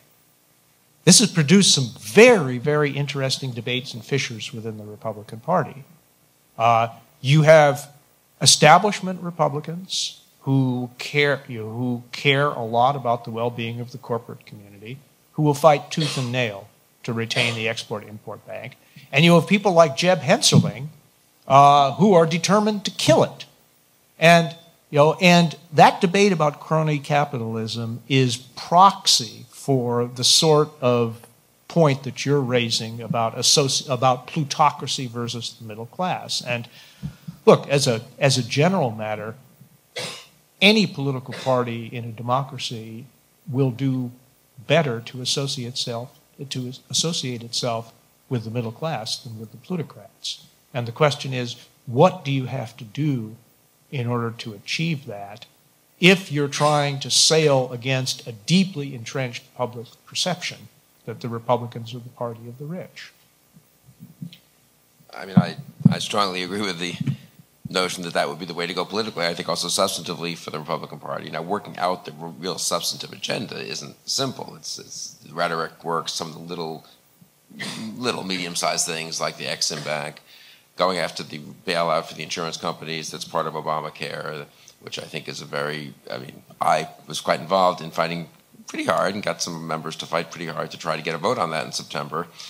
Because hey, I think it's a good vote. It raises Obamacare up again. It is an incredible example of crony capitalism. The insurance companies wrote huge chunks of Obamacare and decided to protect themselves from any losses. Um, most Republican members are against the bailout. But the insurance companies are pretty powerful. They they have friends in higher reaches of the Republican establishment in Washington and leadership in, in the House and, and the Senate, and they ended up not voting. We'll see what happens. And that will be there'll be fights on all Exim Bank, the same thing. That there was a compromise at the end, but the conservative populists wanted to go after that. I very much agree that if you just look at those numbers, there's no reason you can't be for less government and be for. I mean, there are actual. I know personally. I myself might have even answered that first of the two questions Bill read. You know, does the system favor the wealthy, or is it fair to to most Americans? That's not. I mean, it does favor the wealthy in certain ways. The most damaging thing for Romney, I think, in, in it really epitomized that for me, and some other Republicans, some conservative, brought this up the other day was that he was paying what was it, 12%, 13%, I think, income tax. Fine, that was the uh, rate. That was the you know the law. He had capital gains and carried interest. But his answer wasn't, well, that's what I'm paying, and obviously I'm doing what I, what I have to do legally. But I'm not for that. I mean, Romney should have said, which I think would be truthful, incidentally, that my tax reform would increase my taxes because simplification would certainly get rid of carried interest. It would certainly, I think, it would begin to even out capital gains and labor taxes. Uh, Bill and I have discussed the fact that neither party objected. The one tax that went up in, in 20 was it 11 or 12? I can't remember. The, was the payroll tax, which had been lowered by two percentage points as a stimulus in 2000, I think 9, 10, 11 maybe, and then it reverted. And that is that, in my point, from my point, as an actual matter of economics as well as politics, is a terrible tax. It's a pure tax on labor. I mean, it's justified as it pays for Social Security, but if you're willing to abandon what I think is kind of a fiction at this point and just say that's not the reason to have a payroll tax that's high. That's so high. Payroll tax is now higher than the tax Mitt Romney was paying on his overall income. There's something a little crazy about that. It probably does deter hiring and so forth. So, but you do have to bite the bullet on some policy matters. So the test for me will be you know, does a Republican candidate actually campaign against carried interest, for example, uh, which is this thing that helps you know, hedge fund types and all that, kind of an exaggerated form of capital gains? Uh, does he really think through how to uh, lower the burden on labor uh, and on the middle class? And again, that's a, and there's some interesting policy choices there. But you could also make a case that uh, cutting taxes, you don't want to raise taxes on the wealthy just for the sake of making some political statement and actually damage the real economy and job creation and so forth. So but I think I very much agree with that. I think it's. I think the other paradox here is who are the candidates who have really been closest to this at the at the national level. I would say Huckabee into to this message that, that, that you want and I want. Huckabee in 2008 and Santorum in 2012, who didn't work out all the policy either of them policy aspects of this, but their instinct was right. Huckabee was ridiculed among Republicans. I remember making the first column I wrote from my one year experience as a New York Times columnist was a defense of Huckabee on these grounds. And it was equally ridiculed by the Republican establishment, and the Democrats hated him because he was this Baptist preacher who was pro life and so forth. And the Republican establishment hated him because he was saying that there was a bubble, so far as he could tell, on Wall Street, and it was unsustainable, and someone had to speak up for the working class and the middle class. Santorum tried that in 2012. And, you know, for all of his unacceptable social issues and, you know, extremism of a kind in speech, and he had lost in Pennsylvania by 19 points six years before, he got 30, he ran three points behind Romney in Michigan and Ohio, which should have been a signal to the Romney campaign that there's kind of a lot of potency in that message, but they, of course, ignored it. Um, Obama kind of ignored it too, honestly. Obama was able to do a kind of more the what has become the modern Democratic playbook and got to 51.5% or whatever. Um, but so I, I think that is one of the big policy and political challenges for conservatives over the next two years. Yes, sir. You in the white coat. Yes. Uh, thank you. Uh, I have a question for two speakers. I heard of that um, there is an opinion that um, uh, the, uh, the, uh, the President Obama uh, will put the TPP issue, the Trans-Pacific Partnership, as his first priority in the next two years because the, this proposal pro pro uh, will be probably be the um, President Obama's legacy for his presidency. so I wonder how would you evaluate this agenda's importance to the U.S. economy and how much uh, that President Obama can do in the next two years? Thank you. Well, uh, that's a very interesting question. Uh, and, uh, um, and I will respond in a couple of ways. One of which is to tell a story, not a very old story, so lots of people in the room probably remember it. Uh, in late January early February, when the president delivered his 2014 State of the Union address, he asked the Congress of the United States to grant him what is known form formally as Trade Promotion Authority, which is a legal authority that the executive branch can negotiate trade treaties on behalf of the United States, and then the, the, the negotiated treaty is brought back to the Congress for an up or down vote without amendment. And many trade experts believe that that authority is essential if an agreement is to be reached with other countries. Because if they know, if they know that they are agreeing to what would be the final deal, that's one thing. But if they think they're going to agree to something that the Congress of the United States could then amend, then they won't agree to it. Uh, and 24 hours, actually less than 24 hours, after the President of the United States, a Democrat, requested that authority, uh, the Senate Majority Leader, Harry Reid, told him to forget about it. Uh, I, I have never before witnessed that rapid repudiation of, you know, uh, of a president of one's own party by the majority leader of the Senate. Uh, I would suspect that the incoming Senate majority will vote to grant the president trade promotion authority over the objections of most Democrats. Uh, but I find it inconceivable that President Obama would not take yes for an answer at that point. He would have to, right? He asked for it in his previous State of the Union. If he gets it on his desk by the end of January of 2015, he has no choice but to accept the authority. Uh, at that point, I believe that the TPP negotiations, which have languished in recent, recent months, will accelerate and perhaps reach a successful conclusion by the middle of 2015, which would be time enough before election year politics dominate the trade discussion for the treaty to be ratified. Uh, there's a wide range of views as to the long term effects of that treaty for the United States, in the same way that there was a long, a wide range of views about the effect of, say, NAFTA on, uh, on the economic well being of the United States. And frankly, if you look at it analytically in retrospect, the results have been quite mixed. Having said that, uh, I think it would probably be a diplomatic catastrophe for the United States for the Congress to turn down an enacted trade treaty uh, because it would be the definitive end of the famous pivot to Asia, right? And it would open the door for alternative economic arrangements uh, that would probably be dominated or strongly influenced by the People's Republic of China. If the Congress turned down TPP at that point, uh, I think that it would be the prelude to a fundamental reor diplomatic reori reorienting and reorganization in East Asia. So, for those reasons, uh, I would expect I would expect the treaty to be ratified.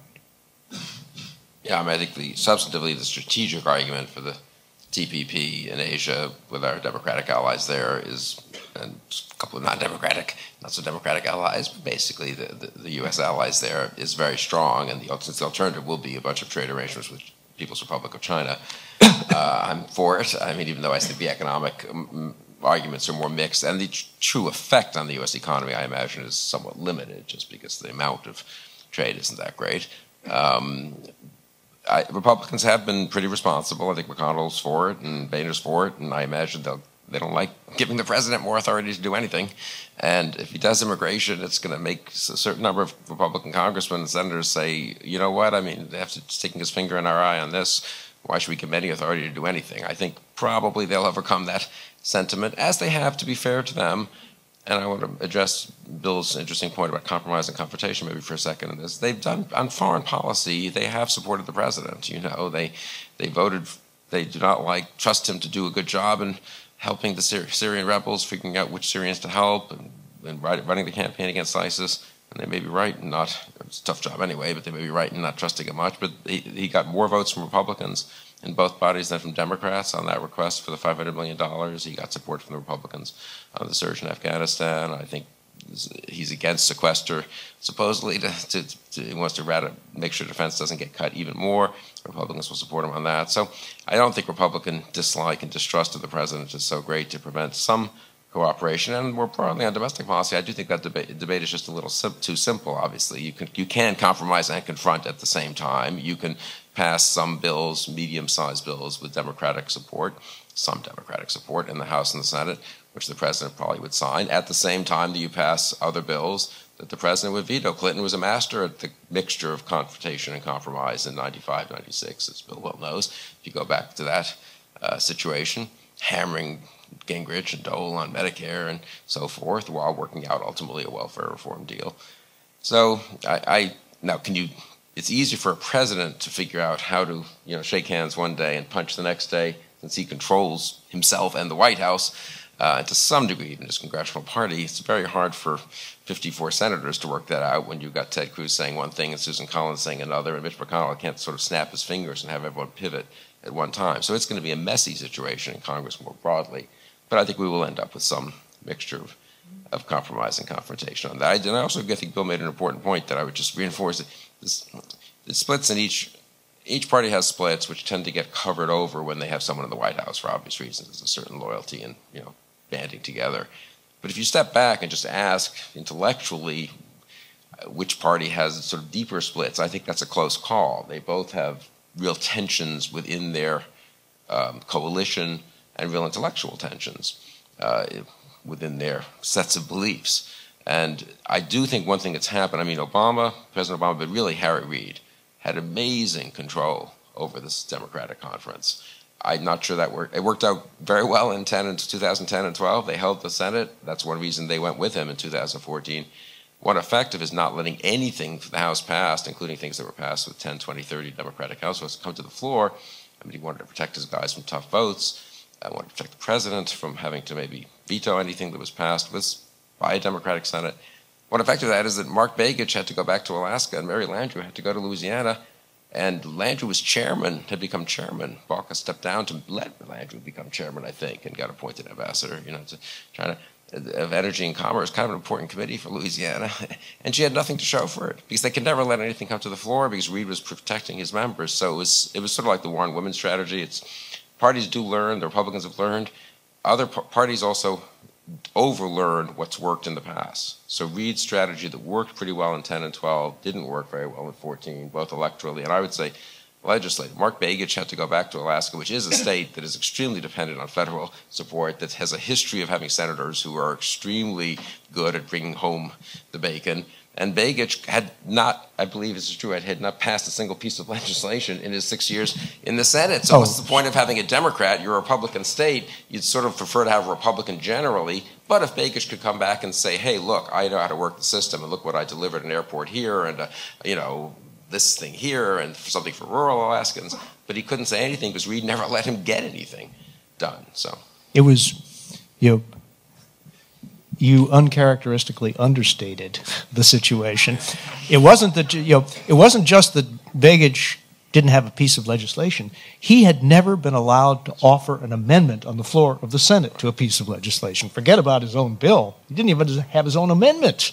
Right? This is this is this is truly amazing. And I have to say, uh, Reid has never been my favorite Democrat.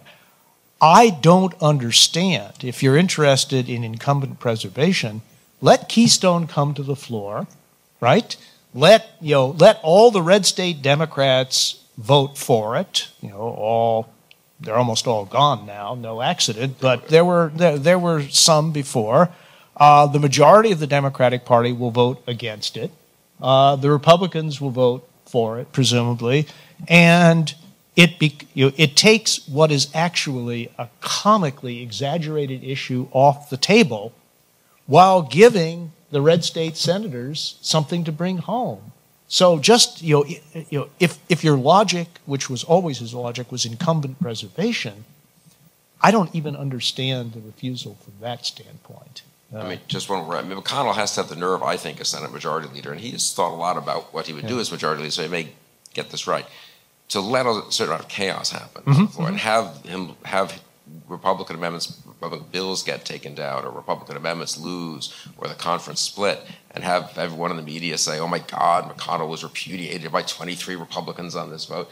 Ultimately, I think you're better off as a party doing that. Not in every case. There are instances where you just need to, you know, uh, whip the party and, and, and really tactically prevent a bad vote or a split party. But uh, Reid erred in the other direction. I think McConnell sort of understands that. He said things that Oh, that go in that direction, and I think it would be better for the. They're going to have to let Susan Collins vote in certain ways and Mark Kirk vote in certain ways that are different from uh, the ways Ted Cruz and let Ted Cruz vote in certain ways, incidentally, that are different from the way they would vote. I want to ask one question of Bill, if I could, just uh, one fact that's very interesting, so, which I, we sort of agree on is so the 22 to 48 number. So that was 22% think their children will be better off, or good chance of being better off. 48% no. What is the?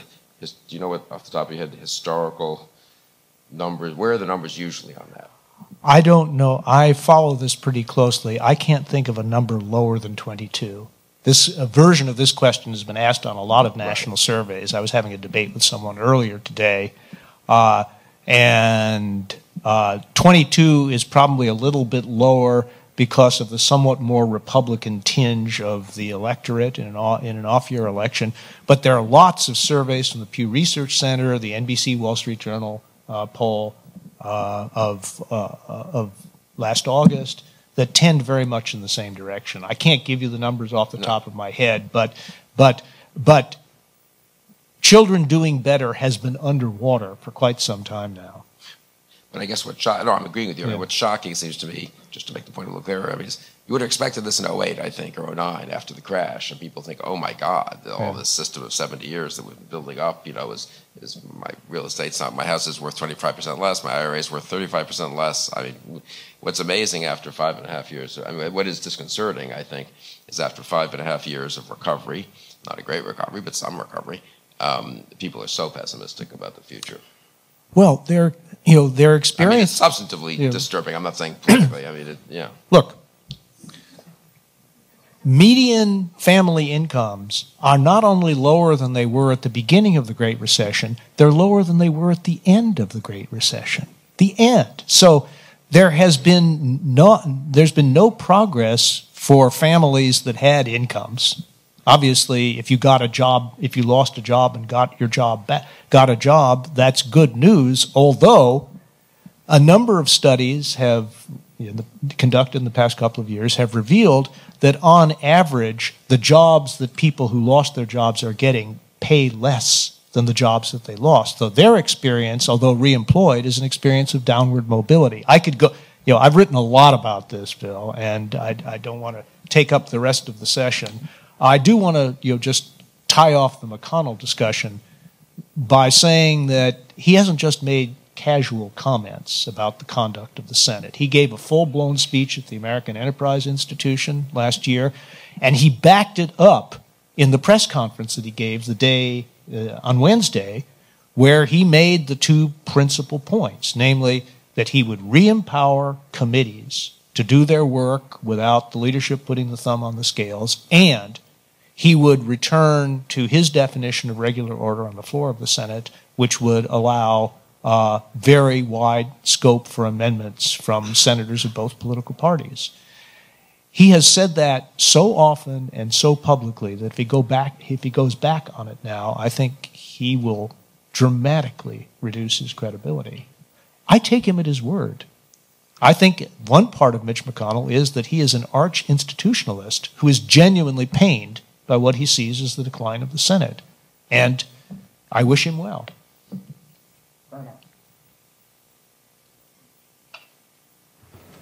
Thanks. I have a question related to constitutional government, this being the program on constitutional government and how things might play out over the next two years. Uh, specifically, what your thoughts are about Obama's, President Obama's use of executive orders, uh, what the Congress can and might do, um, and finally, what the American people might think about that and how it is related to the constitutional order. Take that's a question for me. Um, uh, first of all, as I'm sure you know, there are executive orders and executive orders. Some are clearly within the four corners of legislation. Sometimes people are surprised by how much leeway or flexibility contemporary legislation actually leaves to the, to the chief executive. So, so the fact that X represents an expansive action in a particular area doesn't necessarily mean that it's ultra vires, right? It may be consistent with the four corners of the legislation. So cases differ. Uh, if the if the president if, if the president is thought to have gone beyond a credible interpretation of the legislation in enforcing that legislation, uh, there are there there are mechanisms for adjudicating that kind of dispute, uh, and I would expect that those mechanisms would come into play uh, as they have been and will be again in the implementation of the Affordable Care Act. Uh, and there is, I think, one more big case to go to see whether the Affordable Care Act survives legislative scrutiny. Uh, uh, it has already survived a version of constitutional scrutiny. Uh, so I think what I, I think what we have now is what always happens in the hydraulics of James Madison's system. If one institution appears to be, one, one branch of government appears to be weak or paralyzed, then the other branches will move to fill the void. Uh, and a very good way to rebalance congressional authority and, uh, and executive authority would be for, for Congress to start doing its job. At that point, uh, at that point, I think uh, you know the the space for expansive executive action would be dramatically dramatically reduced. But ultimately, uh, ultimately, the Constitution is what the judges say it is, and uh, and I think that we all have to await the Supreme Court's reading of conflicts, real or alleged, between the letter of the law on the one hand and the actual exercise of executive authority on the other. So I can't give you an all things considered answer. I will say this I cannot imagine this president or any plausible president in the future saying, well, the court has made its decision, now let the court enforce it by, because I intend to disregard it. Uh, if Richard Nixon didn't do that when he had very powerful motives to. I don't think that any other president will either. So, in that respect, I think the rule of law is reasonably secure. Is executive power ultra vires, or is this question ad hominem, or is executive power sine qua non? I know better than to get into a discussion of executive power with you, of all people, even in Latin. I mean, I would just say I mean, obviously, the question I mean, Congress has the power of the purse. They will try to exercise that if the president issues the immigration executive order, order that he himself said a couple of years ago, I think correctly, is really stretching the current uh, contours of the law. They may not be able to stop him ultimately from, I mean, they can maybe stop him doing whatever he's going to do. They may be able to establish the precedent that the next, if there's a Republican president, he wouldn't continue it, as he doesn't have to continue all kinds of executive orders. And Obama reversed Bush's executive orders, and the next Republican president could reverse an Obama executive order. Some of those things are going to be, on the other hand, some facts on the ground get created, and if people are halfway through a work permit that uh, the president has, that the administration has given them, you probably don't pull it halfway through. So it, it gets complicated and confusing. I would say in the short term, we haven't really talked, we probably shouldn't too much about the next month or two. But there's so many moving parts now. I think it's very, very hard to predict yeah. who does what and what happens. Does the president do the executive order on, on immigration? He's sort of committed to it. It looks like, but I will say that I mean on the set of ABC on Tuesday night when we weren't on the air. David Plouffe and George Stephanopoulos, who I don't think disagree substantively about this or many other issues, had a very interesting and sharp disagreement about the politics, not you know narrow like next month politics, but let's say next two year politics of doing that executive order or not, and whether it was wise. And it was an interesting debate. It's not an easy, I mean, from a purely political point of view, I don't think it's actually an easy call for the president. Um, then I was talking with a Republican about this fact that the government funding runs out on December 11th, the continuing resolution runs out. There will be a big debate that's just beginning to, I guess, emerge publicly among Republicans. Do they do uh, continue another continuing resolution or an omnibus bill that would extend the funding through all of next year? That is till September 30th. There's strong reasons for doing that. You'd clear the decks. You get just it's just a Xerox of last year's spending anyway. It's not that controversial. It lets you then have your appropriations committees develop in a much in a more relaxed, not relaxed way, but in a more systematic way, a Republican budget, Republican appropriations bills, and I'd say the old bulls and McConnell and Boehner probably would like to do that. On the other hand, they're going to have to explain to a bunch of Republican senators and congressmen who just got elected that, hey, you just got elected, congratulations, we now control two branches, not one branch of Congress, and we're basically going to live with, the way it will be characterized, with Harry Reid's budget, with a CR that was passed by Harry Reid's Senate for the first six or seven months of your tenure in Congress. And why not just have a two month extension until February 11th or whatever? And let's actually then change some of these some of these appropriated levels. That's what it means to win the majority, isn't it? Like, you know, you pass a different budget than the Democrats would have passed. And maybe you add a few riders, maybe you increase defense spending. I'd be very sympathetic to that. Um, and it's a genuine debate. And it's not, I mean, it's partly a political debate, but it's also a genuine sort of legislative strategy debate. And what does it mean to govern debate? And is this the moment to sort of preemptively, in a sense, compromise with the president? Or isn't it appropriate to have a debate about budget priorities when you have a new Congress? So I think in both parties, uh, there will there are just a lot of areas where there will be compromise and confrontation. And the one thing one learns about politics after a while is it's not always the most important one that, of course, becomes the defining one, right? You never know what's going to take off and become the issue that kind of uh, is, is gets in people's minds, you know, as the, sort of the moment where the parties, either party, defines itself, or people in the party define itself. And the final point I'll make is just the obvious one: it's not as if the Republican Party does anything. There are 54 senators, will be 54 senators, 200 and whatever, 48 congr- uh, congressmen and women, and they will decide individually. And, and, and Ted Cruz's beliefs and incentives are different from Mitch McConnell's, which are different from Susan Collins's, which will be different from Rob Portman if he wants to run for president. And so the degree of, we've actually had a weird year where, for all the hubbub, there's been almost nothing that's happened in Congress, and there haven't been many internal really fights. In, ever since the shutdown, the Republicans have been pretty cautious. The Democrats, Reid's strategy has been to do nothing. So actually, it's been very placid. I mean, you know, really, when you think about it, for the last six months um, in Washington, uh, campaigns were going on around the country. That will, I think, change. They really are sort of important decisions for both parties to make, and it's very unpredictable how those play out.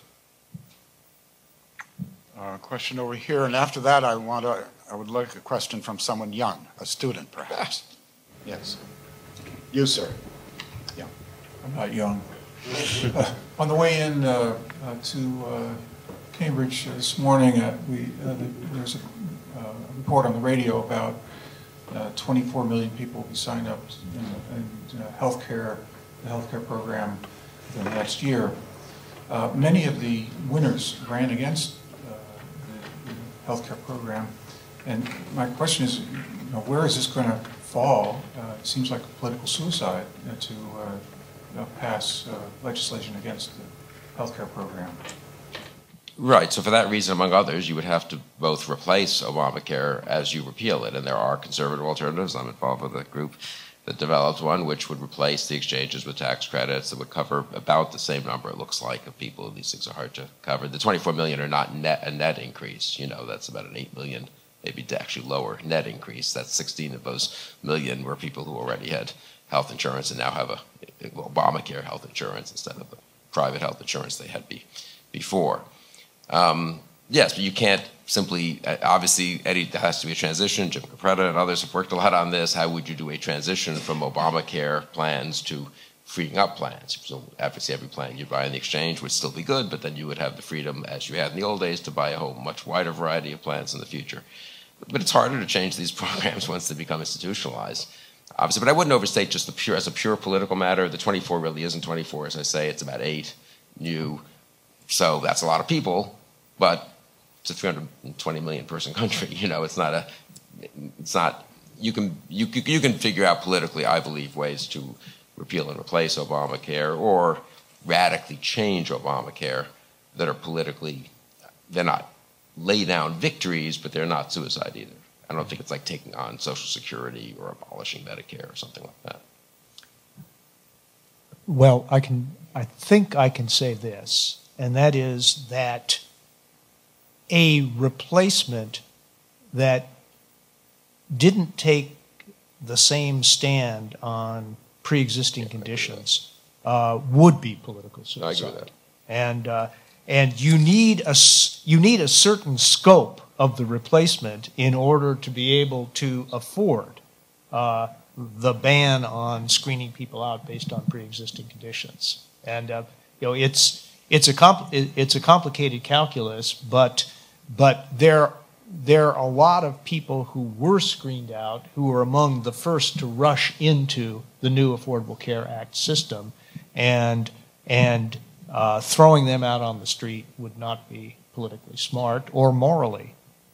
Remember, the ones who were screened out were basically people going from corp, from employer-provided healthcare doesn't screen, but for pre-existing conditions. Since you, you sign up with Harvard, you get into the Harvard plan.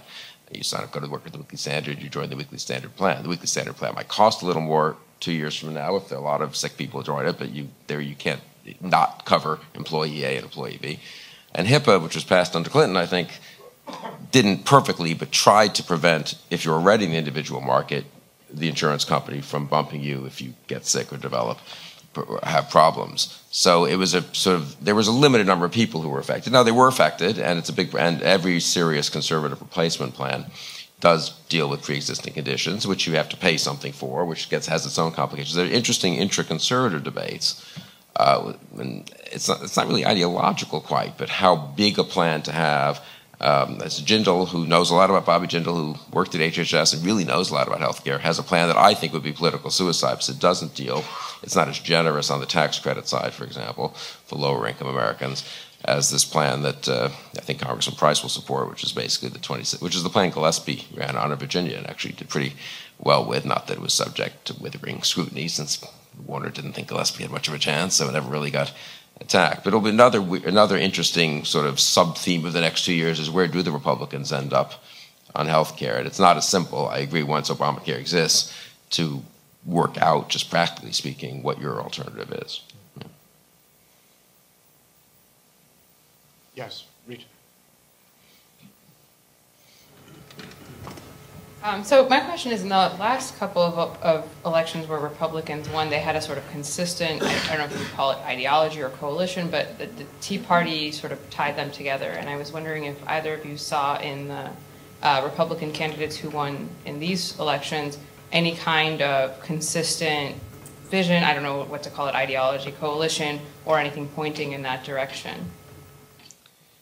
I mean, I think I'll, I'll, give only a very partial answer. I think one of the we didn't really discuss this, though. Bill alluded to Rand Paul and was uh, excessively nice to him, since I don't think he's actually very coherent in his foreign policy. Was the big dog that didn't bark, in my view, was Rand Paul and the alleged rise of isolationism in the Republican Party, which the liberal media has been rooting for and wildly over publicizing for the last two years, and Democrats like to call attention to. How many of the Republicans who ran for the House of the Senate ran as Rand Paul Republicans? I mean, that would be the test for me. When McGovern changed the Democratic Party, or when the Democratic Party changed, let's be more precise, in reaction to Johnson and Humphrey in the Vietnam War, there were a lot of people around the country running as dovish anti-Vietnam Democrats. You know, a lot of people who had very famous political careers for the next 20, 30 years were that, actually. Bill Clinton in 1972 as a McGovern organizer, Gary Hart running in Colorado in 74.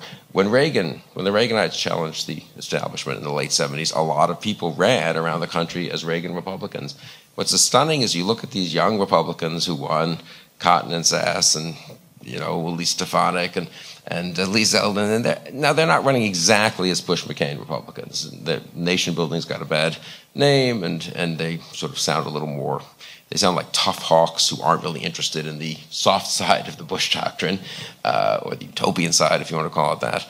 But I do think the hawkishness of the Republican Party has been an underreported element of the of the message, if you want to call it that, or the ideology so far. Now, would it be sustained? Could it, you know, could a presidential candidate still run on a kind of Rand Paul message? I suppose so, but I don't think when Obama's foreign policy is under criticism for being too weak, a Republicans the Republicans are going to nominate or even give a lot of votes, honestly, to a candidate who says in a way that Obama hasn't been has been too interventionist or too meddled too much or done too much.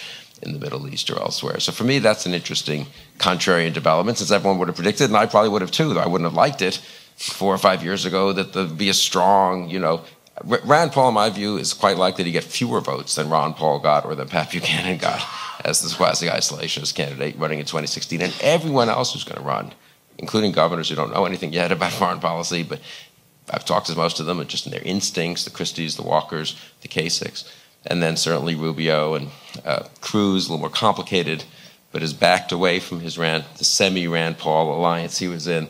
So I think that's an interesting tidbit of the Republican coalition. Obviously, you'd have to go through different issue areas and see what's going on there. But I mean, think the NSA, Rand Paul's, you know, heroic, uh, idiotic filibuster on, on the NSA and on drones. Did anyone talk about that? In this campaign. Certainly Republicans didn't. I mean, so I think that's an interesting example of how something looks very prominent, rising force within the party. And it's not stupid to have thought that two years ago.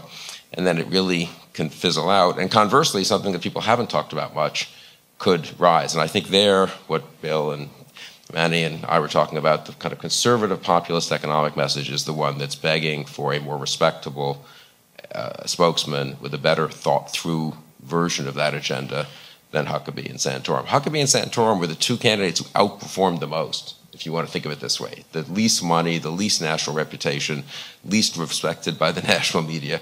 They, not, they did much better than they should have done in 08 and 012. The political marketplace is supposed to work in this way that people are supposed to like react to that and say, hey, I could have a sort of more respectable and intelligent version of Huckabee and Santorumism and really go places. But I'm slightly spooked or I don't know, unnerved by the fact that no one's quite picked that up. Maybe that's just because it is really tough at the end of the day. And in both parties, Obama has found this, right? To really take on the big economic interests, if I can sound like a quasi Marxist for, for 30 seconds. yeah, although I think a purer test of the thesis would come or perhaps will come when someone who is not identified with the conservative social issues runs right. on runs on the middle class, you know, the the the, the anti-crony capitalism middle class conservative message. Uh, I think Kasich, I think it's a very interesting question whether Huckabee and how Huckabee and Santorum would have done if they'd been that rather than what they were. That is, social issues warriors who also, because of their own experiences, had a deep sympathy for the beleaguered middle class. Uh, so that's, but that that that raises a broader point in answer to your in response to your question, and that is that foreign policy is one dimension of variation, but as Bill indicated, only one. And if you look at the Republicans who made it into the Senate on on Tuesday, they represent a pretty wide spectrum of views. You know, David Perdue is about as clear an example of a sort of an establishment Republican candidate as you can find. Uh, Joni Ernst, uh, I think, is pretty clearly a Tea Party candidate uh, in substance and demeanor. Uh, and candidates are arrayed along a spectrum in between. Uh, my hunch is that people are going to uh, going to be descri- going to be surprised to discover just how conservative people like Cotton and Thom Tillis are. Uh, and uh, you know, I think Tillis is probably a little closer to the establishment wing, but they're on economic policy and on general attitude towards elites there is a wide range of variation between the Republicans who spent most of their adult lives in country clubs and those who've spent them doing other things. Just one more tidbit. I'm just saying we have to go. But so Cotton voted against the Farm Bill as a freshman congressman from Arkansas. The traditional view, including the view of every senator and congressman from Arkansas, has been Arkansas is a very farm bill dependent state. There are a lot of rice farmers in Arkansas get a fair amount of money from the federal government. Cotton said, look, I'm sorry, this is a big log, which is true, it's, it's a big log rolling crony capitalism, paying people not to plant things they wouldn't have planted for 40 years type piece of legislation. It's a notorious kind of Christmas tree for all kinds of things. It's also half of it's now for food stamps, which you could debate as a policy matter, but really isn't the same as a farm bill. And so Cotton voted against it. And a lot of smart people thought this would really damage him in Arkansas. Now, a million other things happened between his vote, and they used it in ads against him. Not, it was not a non issue in Arkansas, and it obviously didn't hurt won by 17 points. Now, a lot of other things were going on. That doesn't mean it wouldn't hurt someone in some other circumstances. It does tell me that there is more of a market, just to come back to sort of a point we both made, I suppose, of for that for anti crony capitalism, anti big government populism. Because his vote against the farm bill was partly guess who benefits from the farm bill? Not usually this farmer with five acres and you know a few cows that he slaughters and pigs. It's the, it's the big guys. Yeah, right. So I mean, Cotton was able to frame that as I'm against the farm bill for the big guys. I think we're spending too much on food stamps which discourages people from, you know, uh, which is a disincentive to work. It's a welfare program, and it's gotten out of control. It's doubled or tripled in the last five years. And so Cotton was able to frame it as a kind of middle class populist message. Now, again, it was risky. He probably was best able to pull this off of almost anyone, and I wouldn't recommend it to some Republican who didn't know the substance as well and also didn't have a lot of other things going for him. But it was an interesting little tidbit of the last two years, I would say. Well, now it's uh, 6 p.m., and so we're going to stop for uh, supper, which is served outside.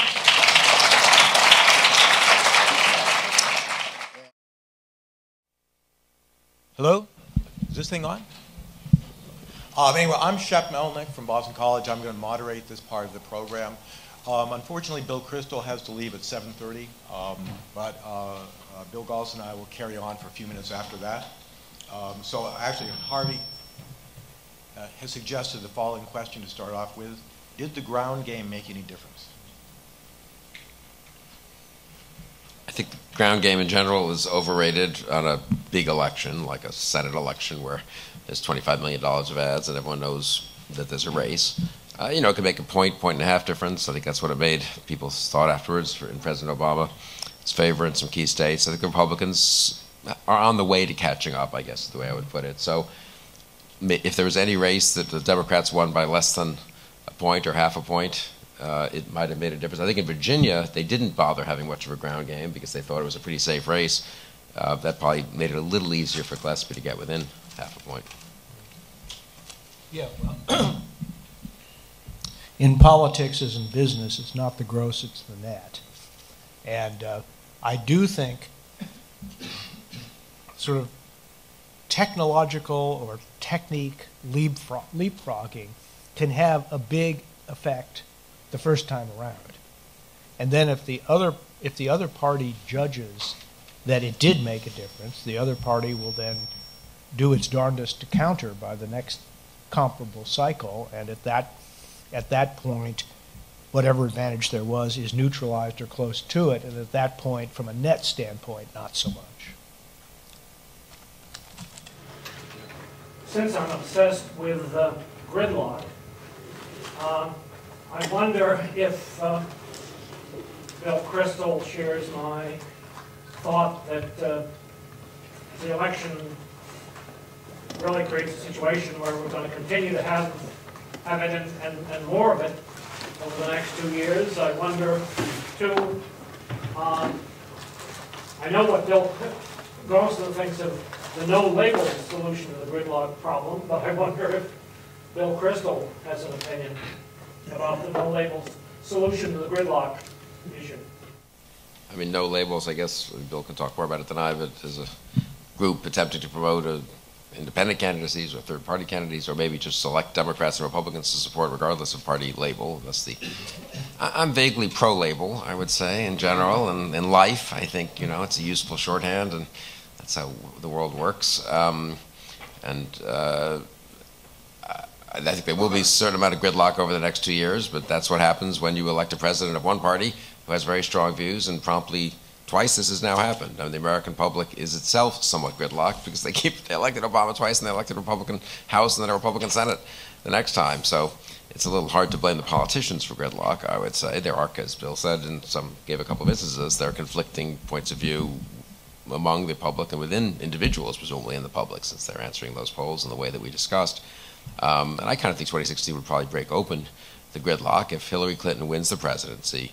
Democrats probably either take back the Senate or come close enough that she would have real momentum. They won't control the House, but if Republicans win the presidency, presumably they would hold the House and I think the Senate if they were to win the presidency.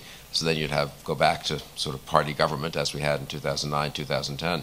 I would say the problem with the independent, I think in principle there should be a market for a third party or an independent candidacy. If you ask a historian, you know, you're going to have a horrible financial crash in which the financial elites and the government elites get things, get a lot of things quite wrong.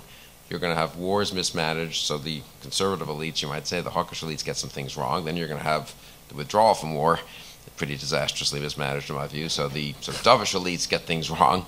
You'd think there'd be a market for an anti-elitist change, you know, third party that would want to shake things up. And I think historically you find that in American history at every 20, 30, 40 years. Um, and you see the sentiments out there now, one thing about America is that we have a federal system which tends to channel these third party instincts and populist sentiments into both parties. If this were Europe, the Obama wing of the Clinton party would have been a left wing sort of third party because Clinton would have locked up the nomination in some parliamentary system. And the Tea Party would be a right wing fourth party because the establishment would have beaten them back, and Marco Rubio couldn't have beaten Charlie Crist in Florida, and Rand Paul couldn't have beaten Trey Grayson in Kentucky, and, and so forth. So uh, that's a good thing about America, incidentally. I think it's an extremely strong argument for decentralization and federalism uh, and local elections ma making a difference. That, the sentiments can get channeled into the two parties, which on the whole is probably healthier than having them be out there too disaffected with the system.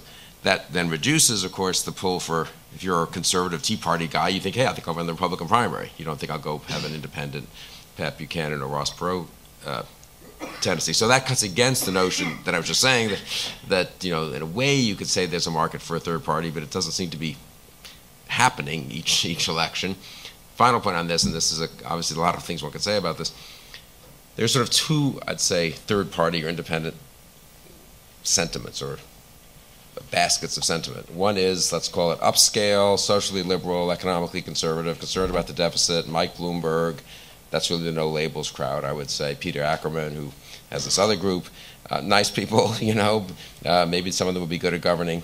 But that's a sort of upper middle class, suburban, you know, good government third party. That's one set of pro free trade, responsible internationalism, UN, blah, blah, blah. Um, and then there's an actual other kind of potential independent or third party sentiment, which is, to put a shorthand on it, Ross Perot, Pat Buchanan, slash a little bit of left wing economic populism, probably anti internationalist and interventionist from both left and right, you know. That's not something the elites like, but there's a lot of the public that probably would respond to that. But that, of course, is totally different.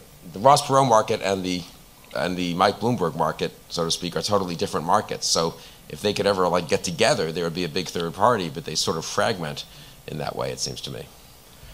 Well, full disclosure, I'm one of the co-founders of No Labels, as you may know. So uh, this is not an arm's length question for me, but let me um, let me say what we are and what we aren't. Okay. We do not favor a third party. We are not trying to start one. That, right? And nor you know, nor do we favor independent candidacies, at least not in principle. Uh, our purpose is to accept the current the two-party system as a given and to try to make it work better. And everything we do is to that end. Uh, and so, for example, uh, in September of 2012, we set about organizing a bipartisan caucus in the Congress, uh, and we ended up with more than 90 members who were willing to meet regularly once or twice a month, begin to break down the barriers of mistrust, which necessarily go up when members of one caucus in the House of Representatives don't even know by name the members of the other caucus because they encounter them only on the floor of the House for roll call votes. And lo and behold, it, it turned out that, that these 90 some odd people uh, liked each other to an extent that surprised them. Uh, and within three months, they'd moved beyond the getting to know you stage and decided to spend some time working on joint co-sponsored bipartisan legislation together. Now, admittedly, they didn't go right at the largest and most divisive issues. They started with common ground, namely waste and, waste and inefficiency in government, and spent three months on a fact-finding mission and ended up with nine pieces of legislation, each of which was introduced with bipartisan co-sponsorship in the House and the Senate, two pieces of which have made it made their way in, into law. And we're we're going to be spending the next year trying to expand the substantive base for bipartisanship by working on what we call a national strategic agenda, which is or, organized around four high high order goals, uh, which seem to enjoy a good deal of support across party lines. Uh, for example, the idea, however you do it, if you have entitlement programs, stabilizing them fiscally for the long term. There are a lot of different ways of doing that. But few people are in favor of programs that, as they now stand, are demonstrably unsustainable. And we're, we're going to spend the next year or so exploring the possibility that between the two political parties, there may be more common ground than meets the eye on stabilizing these programs for the long term. It doesn't mean necessarily leaving them exactly the way they are. And there are, there are, other, there are other goals like that. For example, achieving what's known in the trade as energy security within the next decade. Energy security doesn't mean in energy independence. Nobody in his or her right mind is suggesting that we cut ourselves off from the global energy market. That's not possible. And even if it were possible, it would be highly undesirable. but it does mean that you establish an extent of diversification and resilience such that the sorts of shocks that hit us twice in the 1970s are much more like much less likely to recur. We're much we're much better positioned to weather them without serious damage to our economy, which we experienced. I could go I, I could go on, but it does it does seem to me that it's it's realistic to argue that although the party system that we had was certainly not contemplated by the framers of the Constitution. Indeed, if you take them at their word, they were opposed to the development of party system. Within five years, for all practical purposes, we had a two-party system, and for all practical purposes, we've had one ever since. Uh, and it would seem, therefore, that it is deeply embedded in the structure of our constitutional institutions, even though it doesn't appear explicitly in the Constitution, and therefore, we have no choice but to make a two party system work better.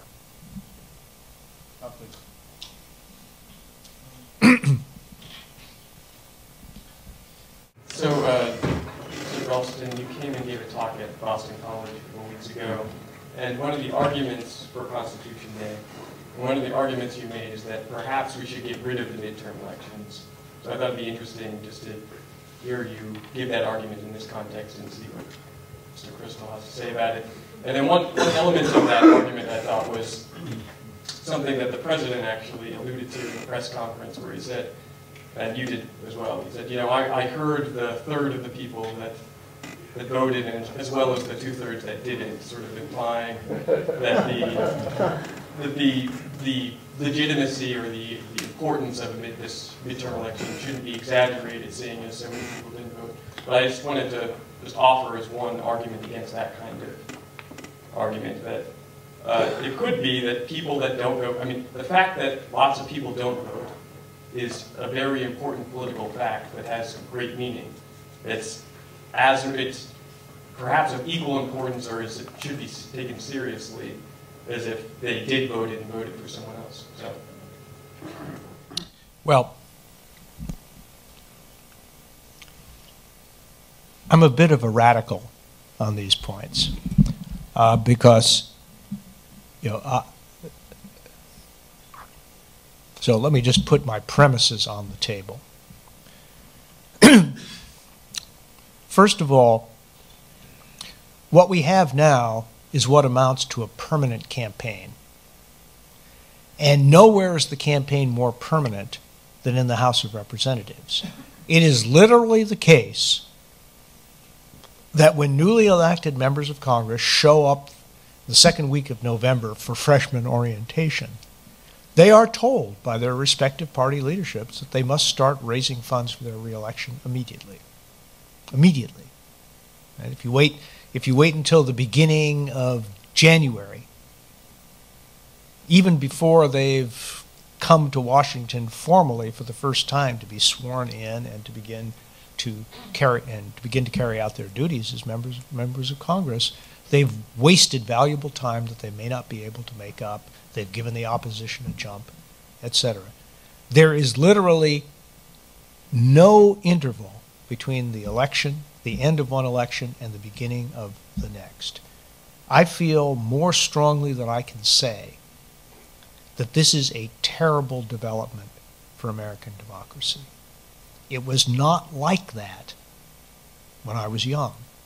And in that respect, our political order was better when I was young because there was more space in the, legis- in, in the political calendar for the actual work of government, which is distinguishable in all sorts of ways from the process of campaigning for office. A political system that can no longer maintain the distinction between campaign for, campaigning for office and governing is a political system that has lost its way, and that's the system that we now inhabit. What can we do about that? In my judgment, two things. First of all, whatever sense it may have made in 1788, I think the two year House term has now become worse than useless. I think we need four year House terms. We can argue about whether, uh, whether all, you know, everybody ought to be elected in the presidential cycle, or you might want to split it up. But that brings me to my second point of radicalism. I do not believe that voting should be optional. I think it should be mandatory. Uh, there are more than 30 countries around the world where it is, including a country that's not all that different from us, namely Australia. And let me tell you a little story about Australia. Uh, in the early 1920s, participation uh, in national parliamentary elections had fallen below 60%. That doesn't alarm us, but it alarmed the Australian leadership leaders on both sides of the aisle. And as a result, they made voting mandatory, and the mandate was enforced with the equivalent of a civil, a civil fine, a parking ticket size fine. The next year, the next election, the first one held under that new legislative rubric, voting participation rose from 59 to 91 percent. 59 to 91. It has never been below 90 percent ever since. What does that mean? It means two things. First of all, unlike our elections that disproportionately attract the passionate and the committed into the ranks of the voters, you also have less passionate and less committed voters. And I would submit that given the current state of our polarized politics, that having more electoral representation from the less committed voters would be a net, would be a net gain for the republic because it would begin to recreate an almost depopulated middle or at least less passionate portion of the political spectrum, people who don't think that the idea of compromise is a dirty word. That's the first point. Secondly, in the same way that if you have to do if you're asked to do jury duty, you have no choice but to familiarize yourself with what's going on to a greater extent. It also turns out that if you have to vote, you're more likely to take the act of voting seriously and at least do the basics to inform yourself as to who the candidates are, et cetera. So you put those two things together, longer terms for the House of Representatives, and voting on a moral, on, on a civic par with jury duty as opposed to a civic, a civic par with chewing, choosing a flavor of ice cream, and given the current ills of our constitutional democracy, I think we'd be way ahead. I don't expect everybody in this room to accept those arguments, and maybe not anybody but you asked, and that's where I stand. I'll be brief. I mean, I don't accept them, but I don't haven't uh, thought about them as much either. Um, I would say I'm not crazy about the permanent campaign. I think that could be addressed by intelligent campaign finance reform, including a kind of deregulation of the $2,600 limit, which is why they have to spend three hours a day calling everyone they know for or don't know for 18 months. If you had full disclosure, you wouldn't have more corrupt uh, campaigns. In my opinion, Virginia a, a, a, a uh, doesn't have limits, and despite McDonnell's minor problems, we've had pretty good governance and pretty clean politics actually in Virginia for quite a long time, and pretty bipartisan politics. So I, I think campaign finance could fix it without doing some of the work, without changing the election schedule. Um, you know, the alternative to Bill has a somewhat rosy view, perhaps, of what it was like when he was growing up. I mean, the one alternative to permanent campaign is permanent crony government governance. I mean, if you actually looked at the U.S. Senate and House and how you know the special interest deals that were routinely cut while they were all governing. I'm not so sure that's so much better than being a little more responsive to the to the voters. So I'm a little more sympathetic to the permanent campaign than Bill is, and um, you know I'm more I'm in favor of people having the choice of whether to vote or not, and I don't think. Uh, I think people who choose not to vote are often less well informed, and I don't know why you want to have a larger electorate if it's simply, as long as it's voluntary, if it's simply forcing a lot of people who are not well informed about the choices they uh, face or don't care enough about them to vote. To force those people to vote, one thing you, you could say, well, that's going to make them more informed and, and more uh, thoughtful about their vote. You can also just say you're going to have more ignorant voting, voting and more susceptibility to foolish uh, sort of passions uh, on the part of the electorate. So. Uh, Christopher, Mr. Kristol, uh, before you depart, I'm just wondering, um, assuming that Hillary Clinton is an inevitability in 2016, although things could change. Um, who uh, do you think are the most ambitious people that are grooming themselves for her vice presidential slot? And who do you think uh, she might need uh, to balance this out? I certainly include Mr. Felsen too, but since you're departing, I just wanted to get one way traditionally to become a vice president, vice presidential nominee, is to run for president. Joe Biden did it twice and became uh, the nominee. John Edwards did it and became the nominee. We should always remember, I always try to mention John Edwards as the Democratic vice presidential nominee in 2004, since I take a certain amount of grief for Sarah Palin, but I believe that Sarah Palin is, in most respects, a superior human being to John Edwards and probably a superior public servant. So I'm happy to just want to mention, remind that this sainted Democratic Party did nominate him for, for vice president. Um, so, I mean, I think honestly, if I were advising someone to who wanted to be I don't know if it would work with Hillary Clinton. It's kind of an unusual pick, but it wouldn't hurt to run and to run. You know, you wouldn't want to attack her too much probably, but to run a respectable campaign, get beaten, and then you've sort of been vetted and proven yourself naturally. Nationally, it is interesting how with the incredible focus on vetting and scandals and all this these days, probably excessive. Um, there is a real tendency to pick a vice presidential nominee who you're sure isn't going to blow up on you, and that's why you get a Cheney or someone who's been in many public offices, or you get someone who's run for president, you assume the media's kind of gone over that pretty carefully. Um, even Paul Ryan had been around a long time and pretty prominent. So um, I wouldn't be stupid to actually run for president in 2016, even if you thought you might be the vice presidential pick.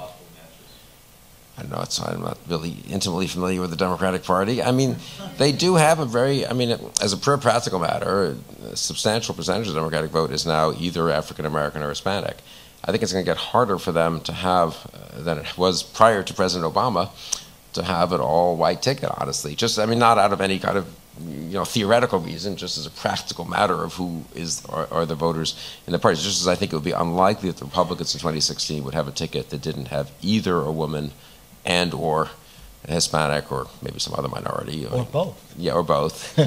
I wonder, Jindal counting as a minority is an interesting question. Somehow the Asians don't get, you know, they don't get that magic, you know, check mark somehow, though he's a pretty dark-skinned guy. I know him, you know, and, and um, they, it is a minority in many ways. Um, the uh, but no, so I don't I don't know honestly the I, I my bottom line my real view honest view is, is there is a race to be running against Hillary Clinton, but you shouldn't run just to become a VP. You should run to become, to really try to, you know, you can get lucky, and she could something could happen, and she could decide, you know, not to make a horrible gaffe. I mean, you just never know. It's really, think of the history of who's become president of the United States. I mean, these are people who all ran ahead of their time, or when they were told, "Ooh, you can't do it yet. You have all kinds of problems." Even Bill Clinton, who was better prepared There were a lot of people cautioning him. He had a bad speech in 88. He had some issues, obviously, with that were going to come out if he ran for president.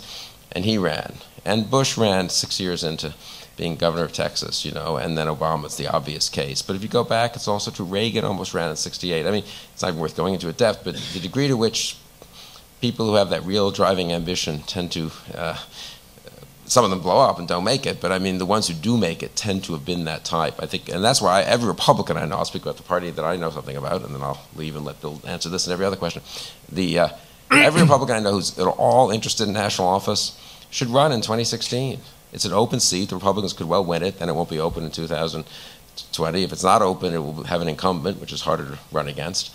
And so, really, everyone who's been in office for at least for more than two years, in my opinion, should run. And they should all ignore people like me and everyone else. Oh well, you know, even People, uh, I hate to say they should ignore a Bill, but in this case, they should. Oh well, the, there won't be a market for a one-term senator. You never know. You know, I mean, people don't think that way. People think, do I like and trust him, or do I not like and trust him? The really radical question would be, could you even get elected this year? and run. And I, I think that would be tough, but honestly, I mean, do we really think that if they if Tom Cotton ran for president that and was ran for two or three weeks and comported himself well and did well in a debate or two that people would say, well, he's not ready for it. Marco Rubio's ready, Ted Cruz is ready, Scott Walker's ready, but he's only been in office, you know, for four years, and everyone else has been in office for six or eight. I actually think you could even get away with a very, you know, these in this day and age, especially with sort of going very very fast. So my pre preferred presidential ticket is Cotton Ernst, which would be a fantastic, youthful ticket. And it would be a great, I mean, and you know, you say it and you laugh at it, and I laugh, of course, I don't mean it seriously, except honestly, if you step back and sort of do the mind, the thought experiment of, like, what would you feel good about if you're a Republican at the Republican convention in August of 2016. I can't say that I would feel less good about that ticket than all the other obvious tickets, which I also like, Ryan Rubio or Walker Martinez or all the million combinations you can invent. Uh, uh, so I'm, I'm, I'm, in this respect, I'm more radical. I'm for people running early and often for president if they think they can do the job. Okay, you disagreed with me, so now, now I get to disagree with you. You do, but I get to leave, so then you can, you can disagree. okay, I'll do it. I'll, I'll, give you one. I'll give you one minute of uh, disagreement while I'm present, and then you can okay. disagree for. And you know, you're about to hear a profession of faith. Being an effective president of the United States is hard. It requires preparation. If you look at effective presidents, by and large, they've been governors of a large state, as Roosevelt was, as Ronald Reagan was. They learned how to be executives, or Dwight Eisenhower learned how to be an executive by basically running the military of the world under very, under very difficult uh, circumstances. The thought that people who are smart, young, bright, attractive, and well spoken can walk into the Oval Office and do the job is just not true. And, you know, and so, you know, and so I, you know, I really believe that it is almost irresponsible for people without executive experience who are at the beginning of their national political careers to run for president. And I don't care whose party you're part of. I guess I'm not allowed to mention Abraham Lincoln, that's too obvious, but or Theodore Roosevelt, like two pretty impressive presidents. Uh, Pitt the Younger, how about that one? I mean, I, I really am not, I'm not blown away by, and I, of course, would prefer that experience. You learn a lot in politics. I do think the governor thing is overdone just in this way. There are going to be a lot of international crises that the new president will face. And one thing of advantage of being a senator or even a congressman or obviously a general is you do deal with those in a way that governors don't. Um, now, Reagan was very interested in foreign policy. Clinton was too. They were unusual governors in that respect. Bush surrounded himself. He thought he could solve the problem not knowing as much by surrounding himself with Cheney, Powell, and Rumsfeld. That it didn't work out so well in the sense they all ended up fighting with each other. And I think that shows the weakness of the governor model. So I'm slightly more pro-senator than I think Bill speaks for most people when he says what he just said, and also when he says that the Republicans will want to govern. That's what most Republicans think. I'm slightly more uh, pro pro senator than governor, and I'm pro more pro inexperience than Bill is. Okay, that nails it. Sorry to leave early. Thank you very much, Neil.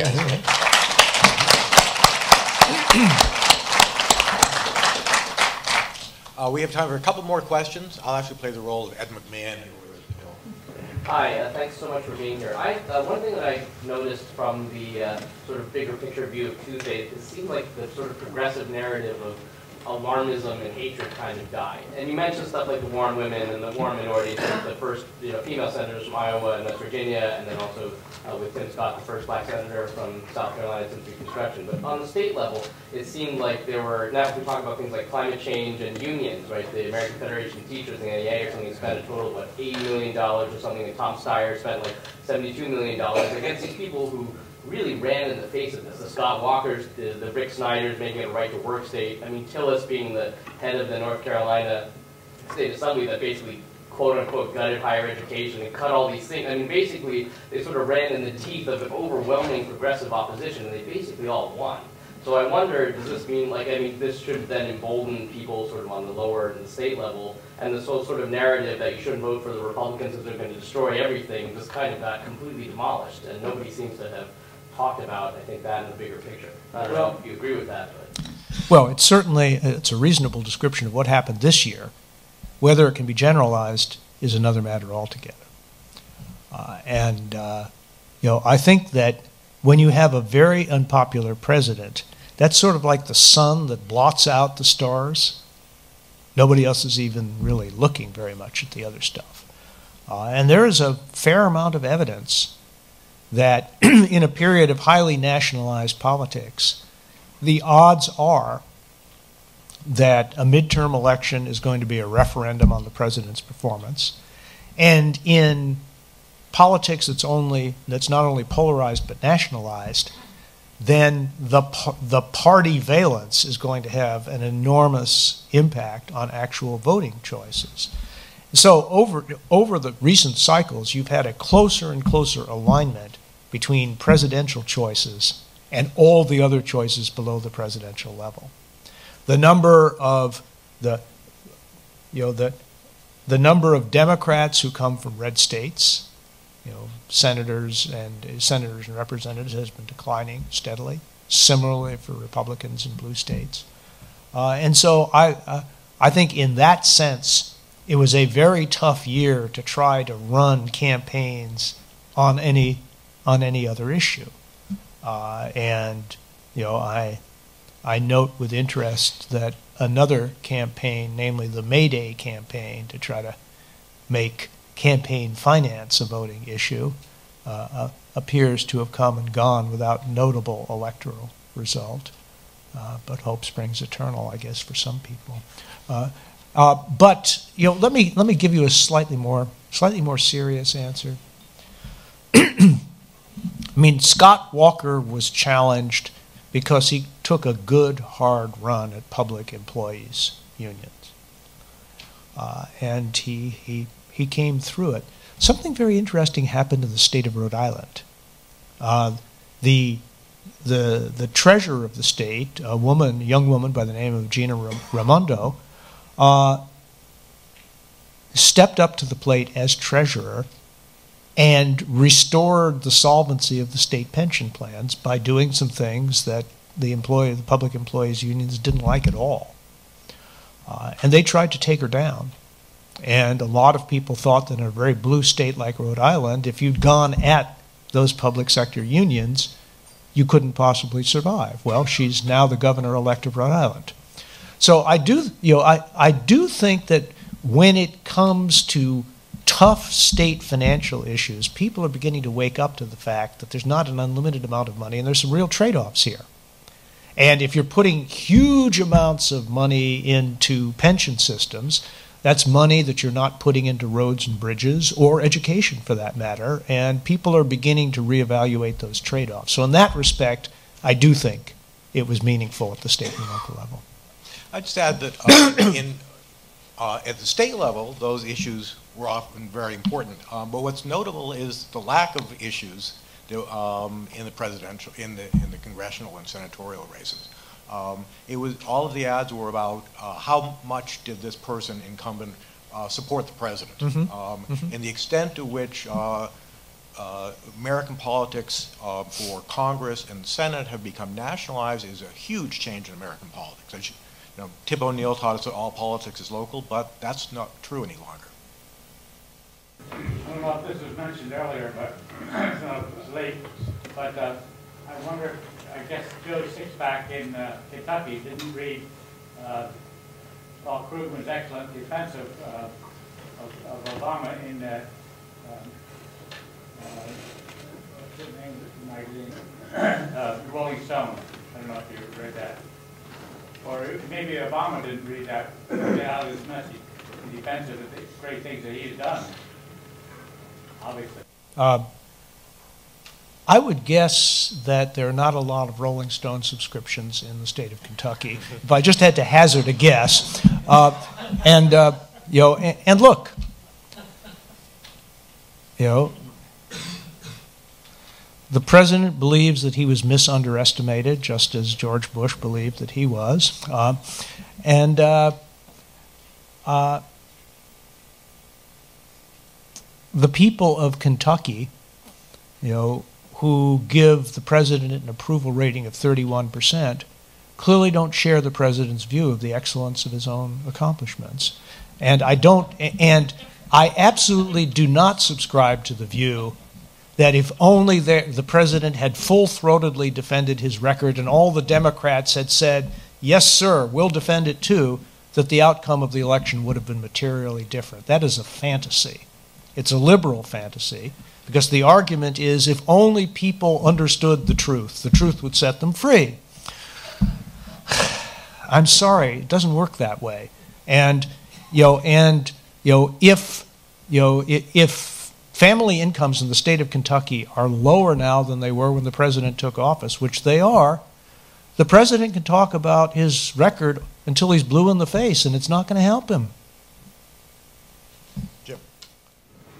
Uh, I just wanted to ask you about the future of, of populism in the Democratic Party, because the Democratic Party has always had a populist line against big business and against CEOs making too much money and that uh, income inequality, and that doesn't seem to have played very prominent or role in this week's election. But it, apparently it worked in, in 2012.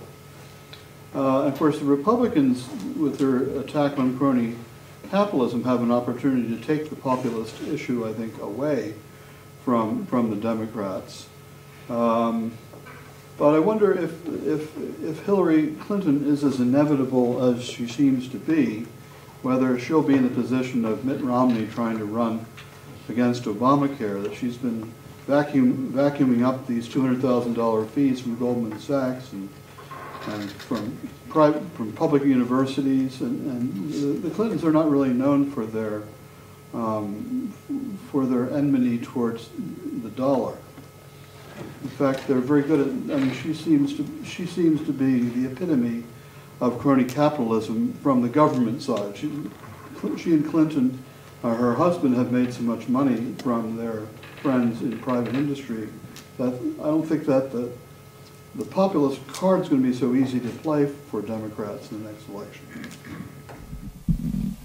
Well, I'm going to address, for all sorts of reasons, I'm going to address the policy side of the question that you just asked, and the political side, and not the personal side. Uh, but I think, you know, I agree with the spine of the argument you just made. If Elizabeth Warren presented herself as a candidate for the Democratic nomination, I think she would give Hillary Clinton a very tough fight because she is saying, Elizabeth Warren is, what a lot of the Democratic primary electorate wants to hear, and wants to hear in a full throated manner without reservation or equivocation. And uh,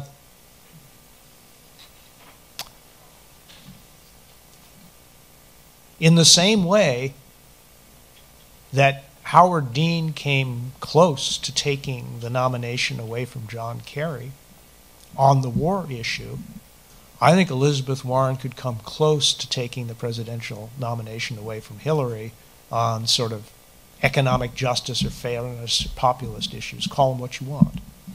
Uh, Warren has said she won't do that, and I take her at her word.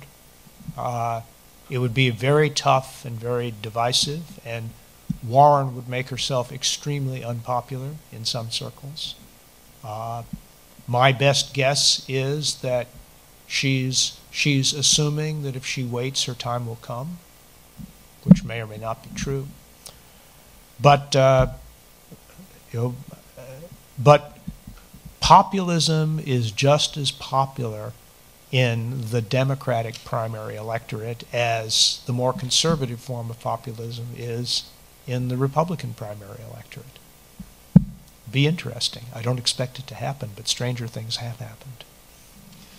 Unfortunately, we've come to the end of our time. I'd like to thank uh, Bill Galston for uh, ex another extended and really enlightening.